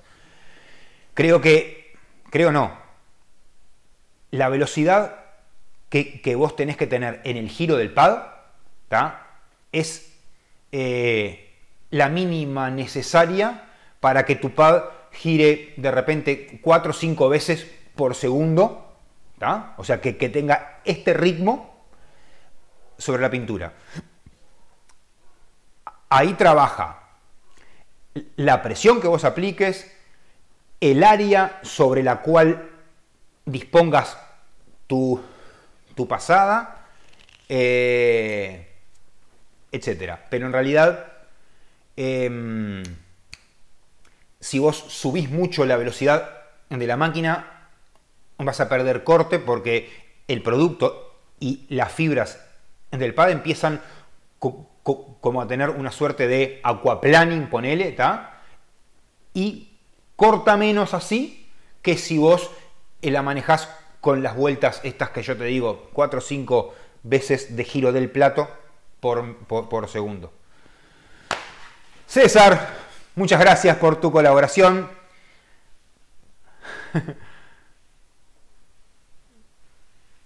Bueno, muchísimas gracias desde México. ¿eh? Mucha gente de México participa en el canal. Buenísimo, buenísimo. México es un país que no conozco. En realidad hay muchos países que no conozco, con los cuales, o sea, y sí conozco gente de esos países. Eh, pero bueno, creo que en algún momento en mi vida profesional yo debería dedicarme a poder viajar y dar cursos por aquí y por allá y no, y, no hacer tantos autos acá en mi taller. Pero no soy un buen eh, diseñador eh, de, de, nuevos emprendimientos que no sean laburar con mis músculos. Alguien preguntó algo por el óxido de serio. ¿El óxido de serio sirve para pulir cromos? No tengo ni idea, creo que no. O sea, creo que no. Creo que para pulir metales, porque el cromo es un metal, hay pulimentos para metales.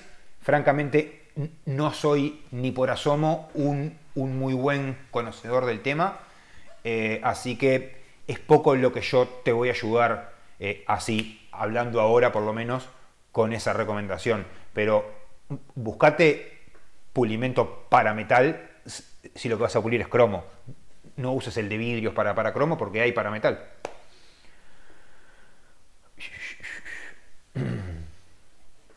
Cristian, tenés la Camfix, no sé cuál es, Dual Action, pero te voy a responder como si tu máquina fuera china, porque lo más probable es que lo sea, porque todas las, pulidoras que no son eh, de estas marcas reconocidas son chinas.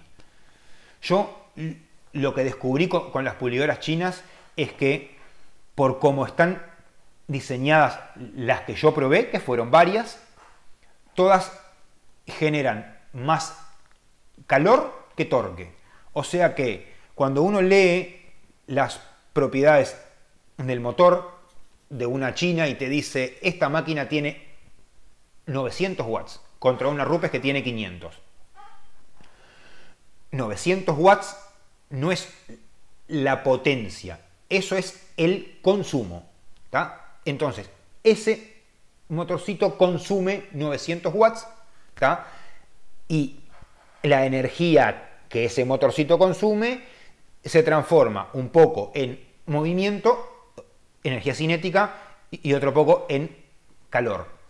Las rupes las podés hacer agarrar y laburar en velocidades bajas, tipo 3, 4, ponele, porque casi todo el consumo del motor se transforma en movimiento.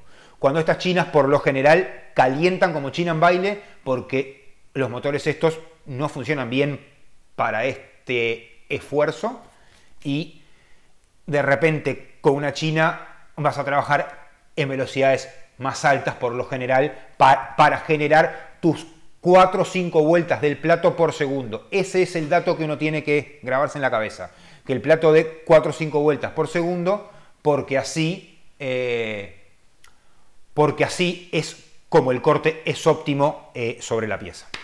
A ver, Ger, muchísimas gracias por tu colaboración.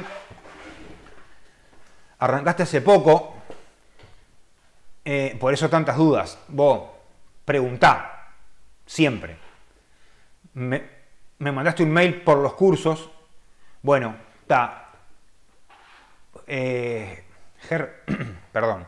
Mails por los cursos y mensajes hizo, tengo un montón y decidí en un momento que no los podía responder a todos porque se me habían acumulado, porque se me empezaron a acumular cuando nació mi bebé, que me pasé un mes y pico en función a otra cosa, y ahí cuando quise retomar eso estaba ya con los mails para atrás un montón, y decidí que de los cursos un día me voy a sentar acá y hacer un video sobre los cursos que, que doy en ese momento, digamos, actualmente.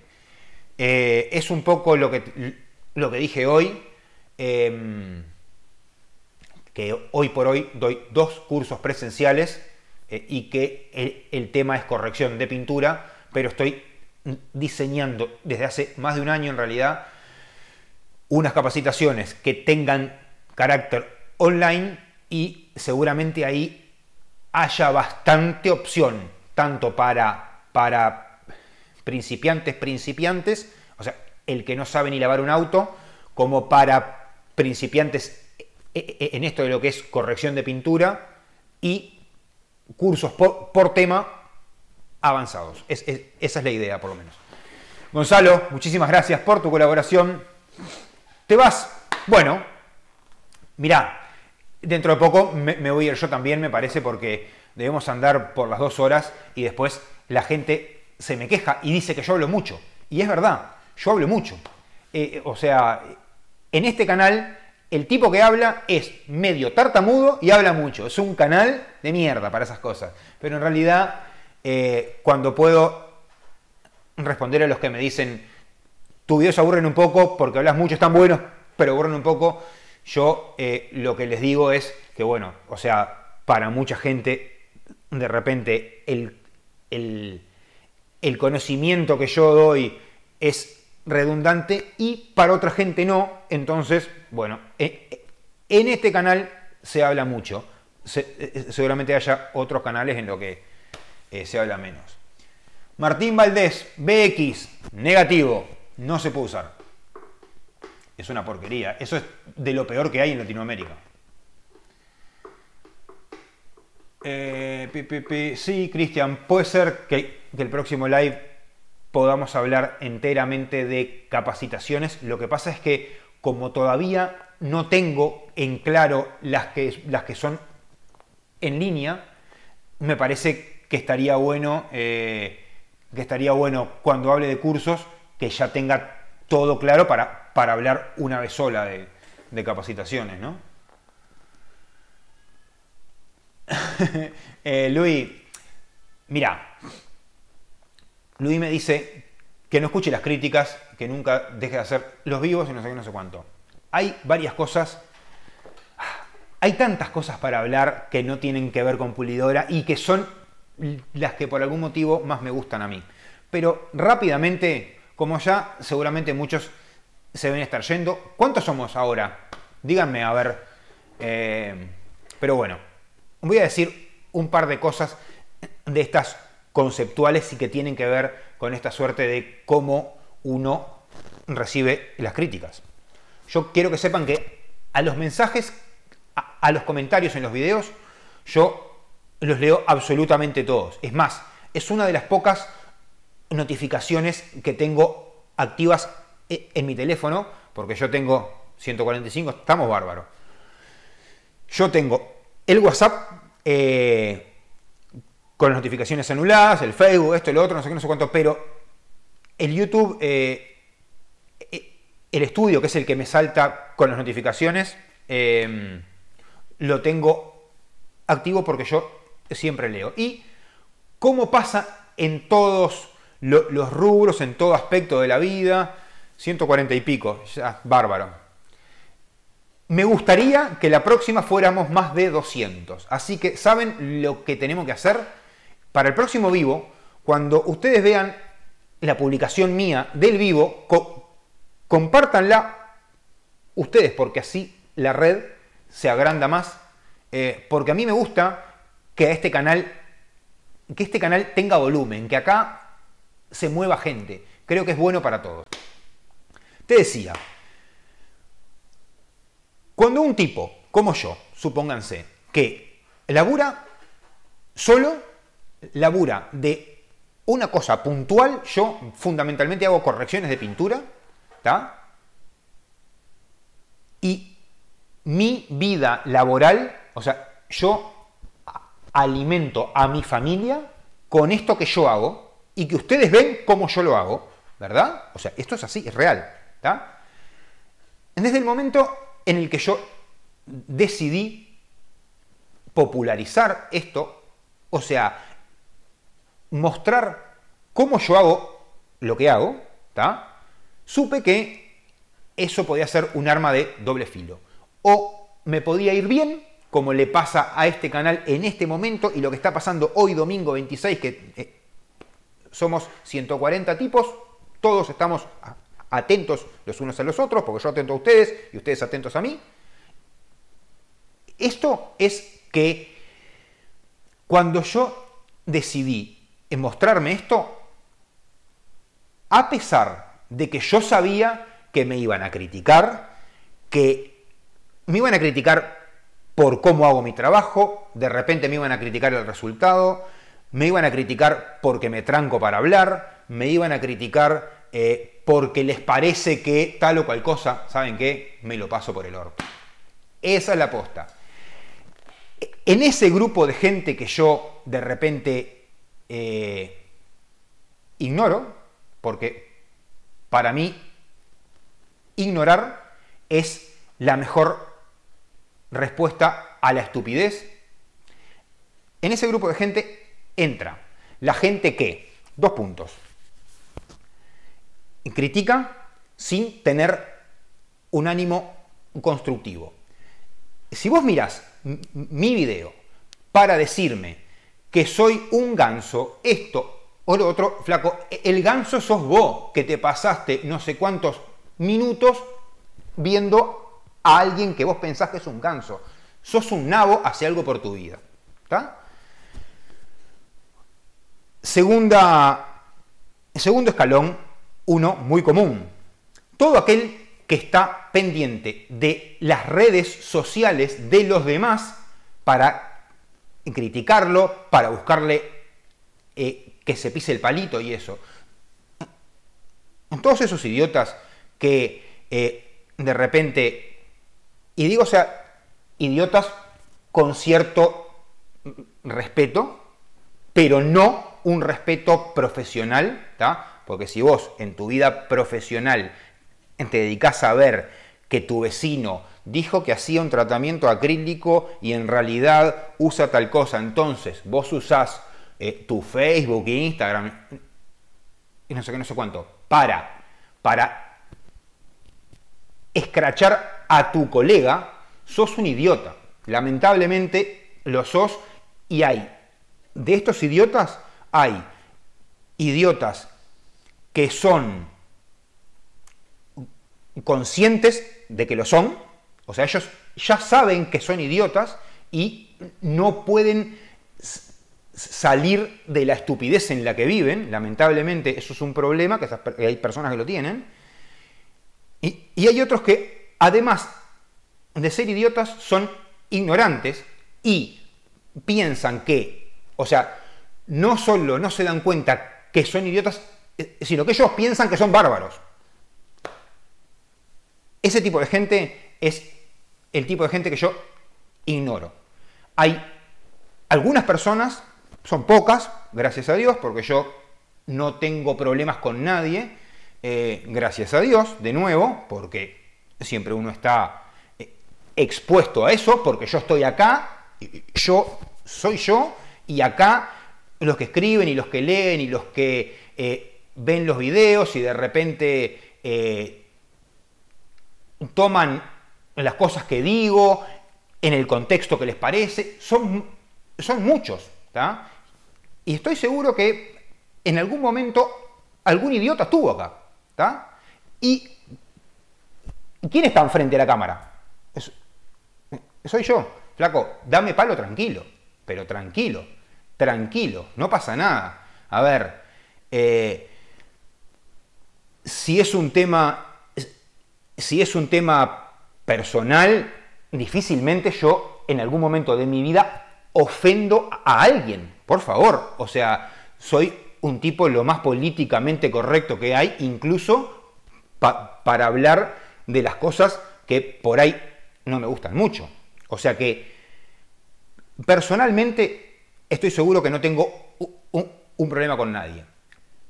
Profesionalmente, si a alguien le, parece que lo que yo hago, el laburo que yo hago y como yo me gano la vida para darle de comer a mi familia, si le parece que lo que yo hago no está bien, ¿está?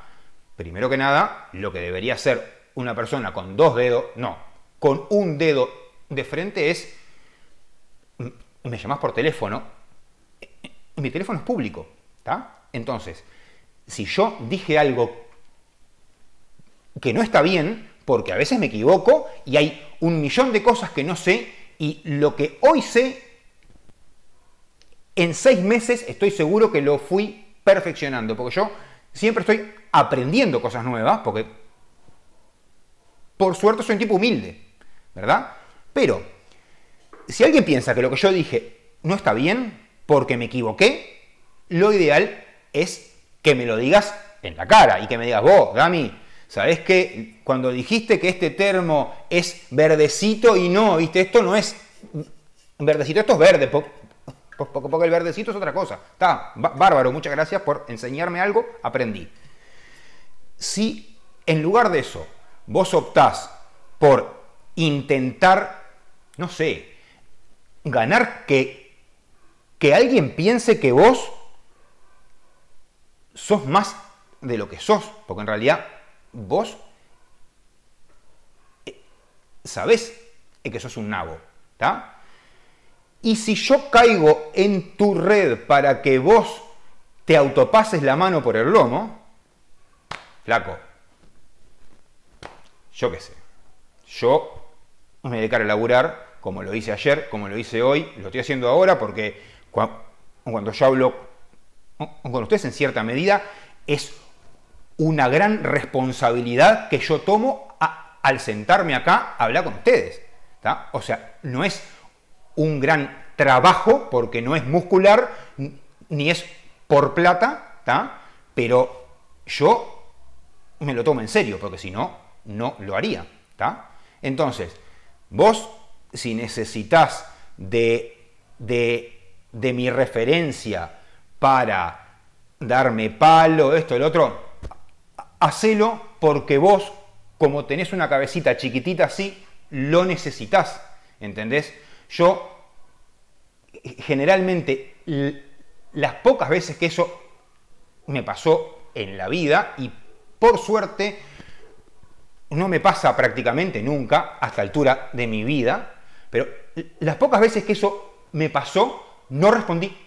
Me callé la boca, los dejé, jajaja, ja, jo, jo, jo, no sé qué, no sé cuánto. Hoy por hoy, todos esos que en algún momento me tomaron como para darme un palazo, coso, son inferiores a los inferiores. No son nadie. Y si todavía a, las personas estas que en algún momento en la historia les pareció que mi trabajo, no sé qué, no sé cuánto, tienen una duda, que, que me llamen por teléfono y acá en mi taller, un capó al medio y vamos a ver quién labura mejor. Es más, yo me pongo enfrente a vos con el perfil cambiado, ¿está? O sea, yo incómodo y vos con todo lo que tengas. Así, tranquilo. En fin, me calenté la puta que lo parió, ¿eh? A ver. Bueno. Estuvo bueno esta, esta, esta, esta breve, breve catarsis, ¿eh? Sí, o sea, a ver, la gente tóxica esta que ustedes dicen, y que es cierto que lo hay, eh, la verdad es que son tóxicos para ellos. Eh, yo no creo que nunca nadie gane un cliente ninguneando a otro. O sea que el detailing es un laburo. Eh, si lo que yo hago no, no sirve para que me traiga un cliente, entonces no lo hago. Bueno, eh, todos quedaron enganchados con el tema este, eh, pero bueno, ya está, ya fue. A ver, vamos a ir cerrando, principalmente porque este video después va a ser un embole para ver, para los que lo van a ver offline, que van a ver que duró como la puta madre. Eh, pero está. Cosas importantes entonces. Los vivos vamos a fijarlos los domingos, 19 horas, Uruguay.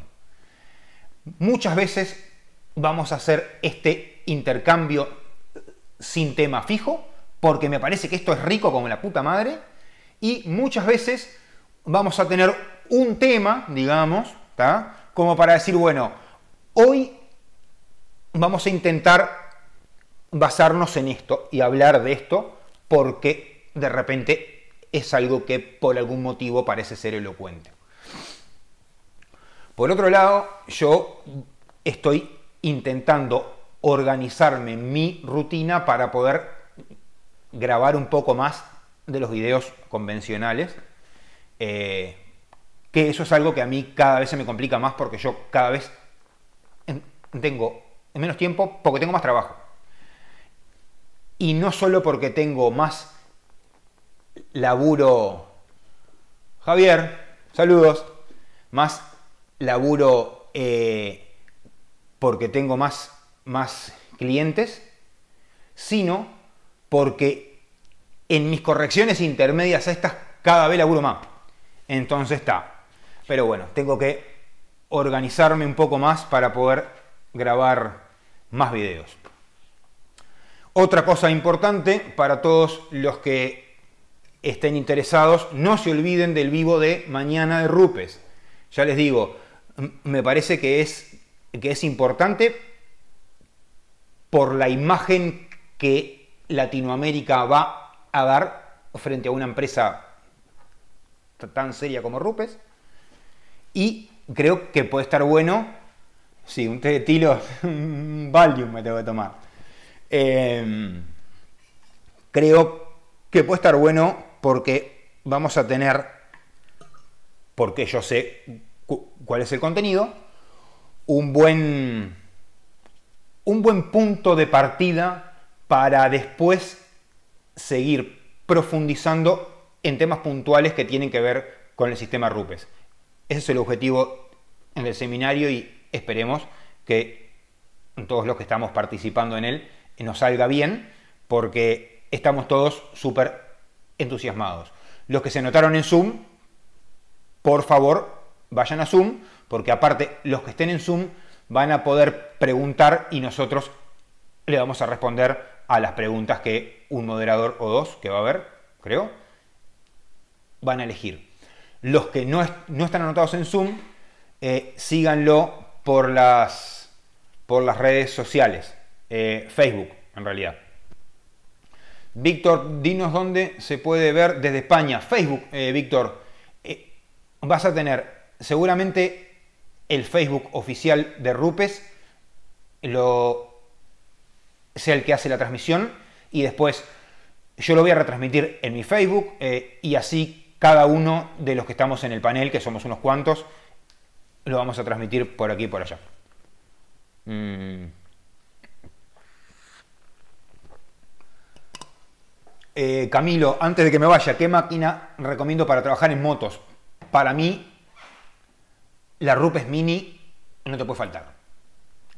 Cuando puedas, podrías tener la Mini y la Hybrid, pero la Mini no te puede faltar, porque aparte la Mini sirve para, para motos, te sirve para autos, podés pulir faros, podés hacer un montón de cosas. Es una máquina que vale su peso en oro.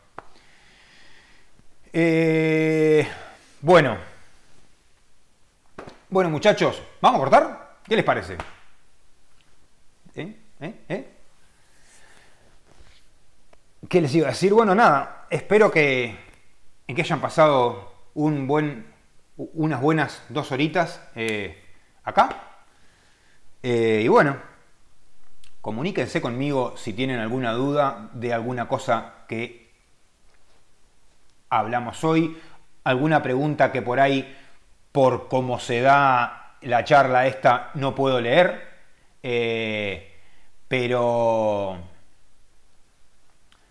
pero como es, ya les digo, yo siempre estoy siempre estoy dispuesto. Sí, sí, Francisco, mañana tengo el, el coso de Rupes y tenemos un ensayo antes entre nosotros los de Rupes y yo tengo que terminar el auto en el que, en el que estoy elaborando. O sea que tengo. Y, ah, y mañana entra otro auto un Volkswagen Passat, si, si mal no recuerdo, es mañana para un trabajo todavía más, más incisivo que el, que, que, que del Audi este, que, fue bastante hasta el hueso. Así que bueno, Ulises, nada, yo en la medida que pueda voy a estar siempre intentando eh, comunicarme con ustedes siempre, es así.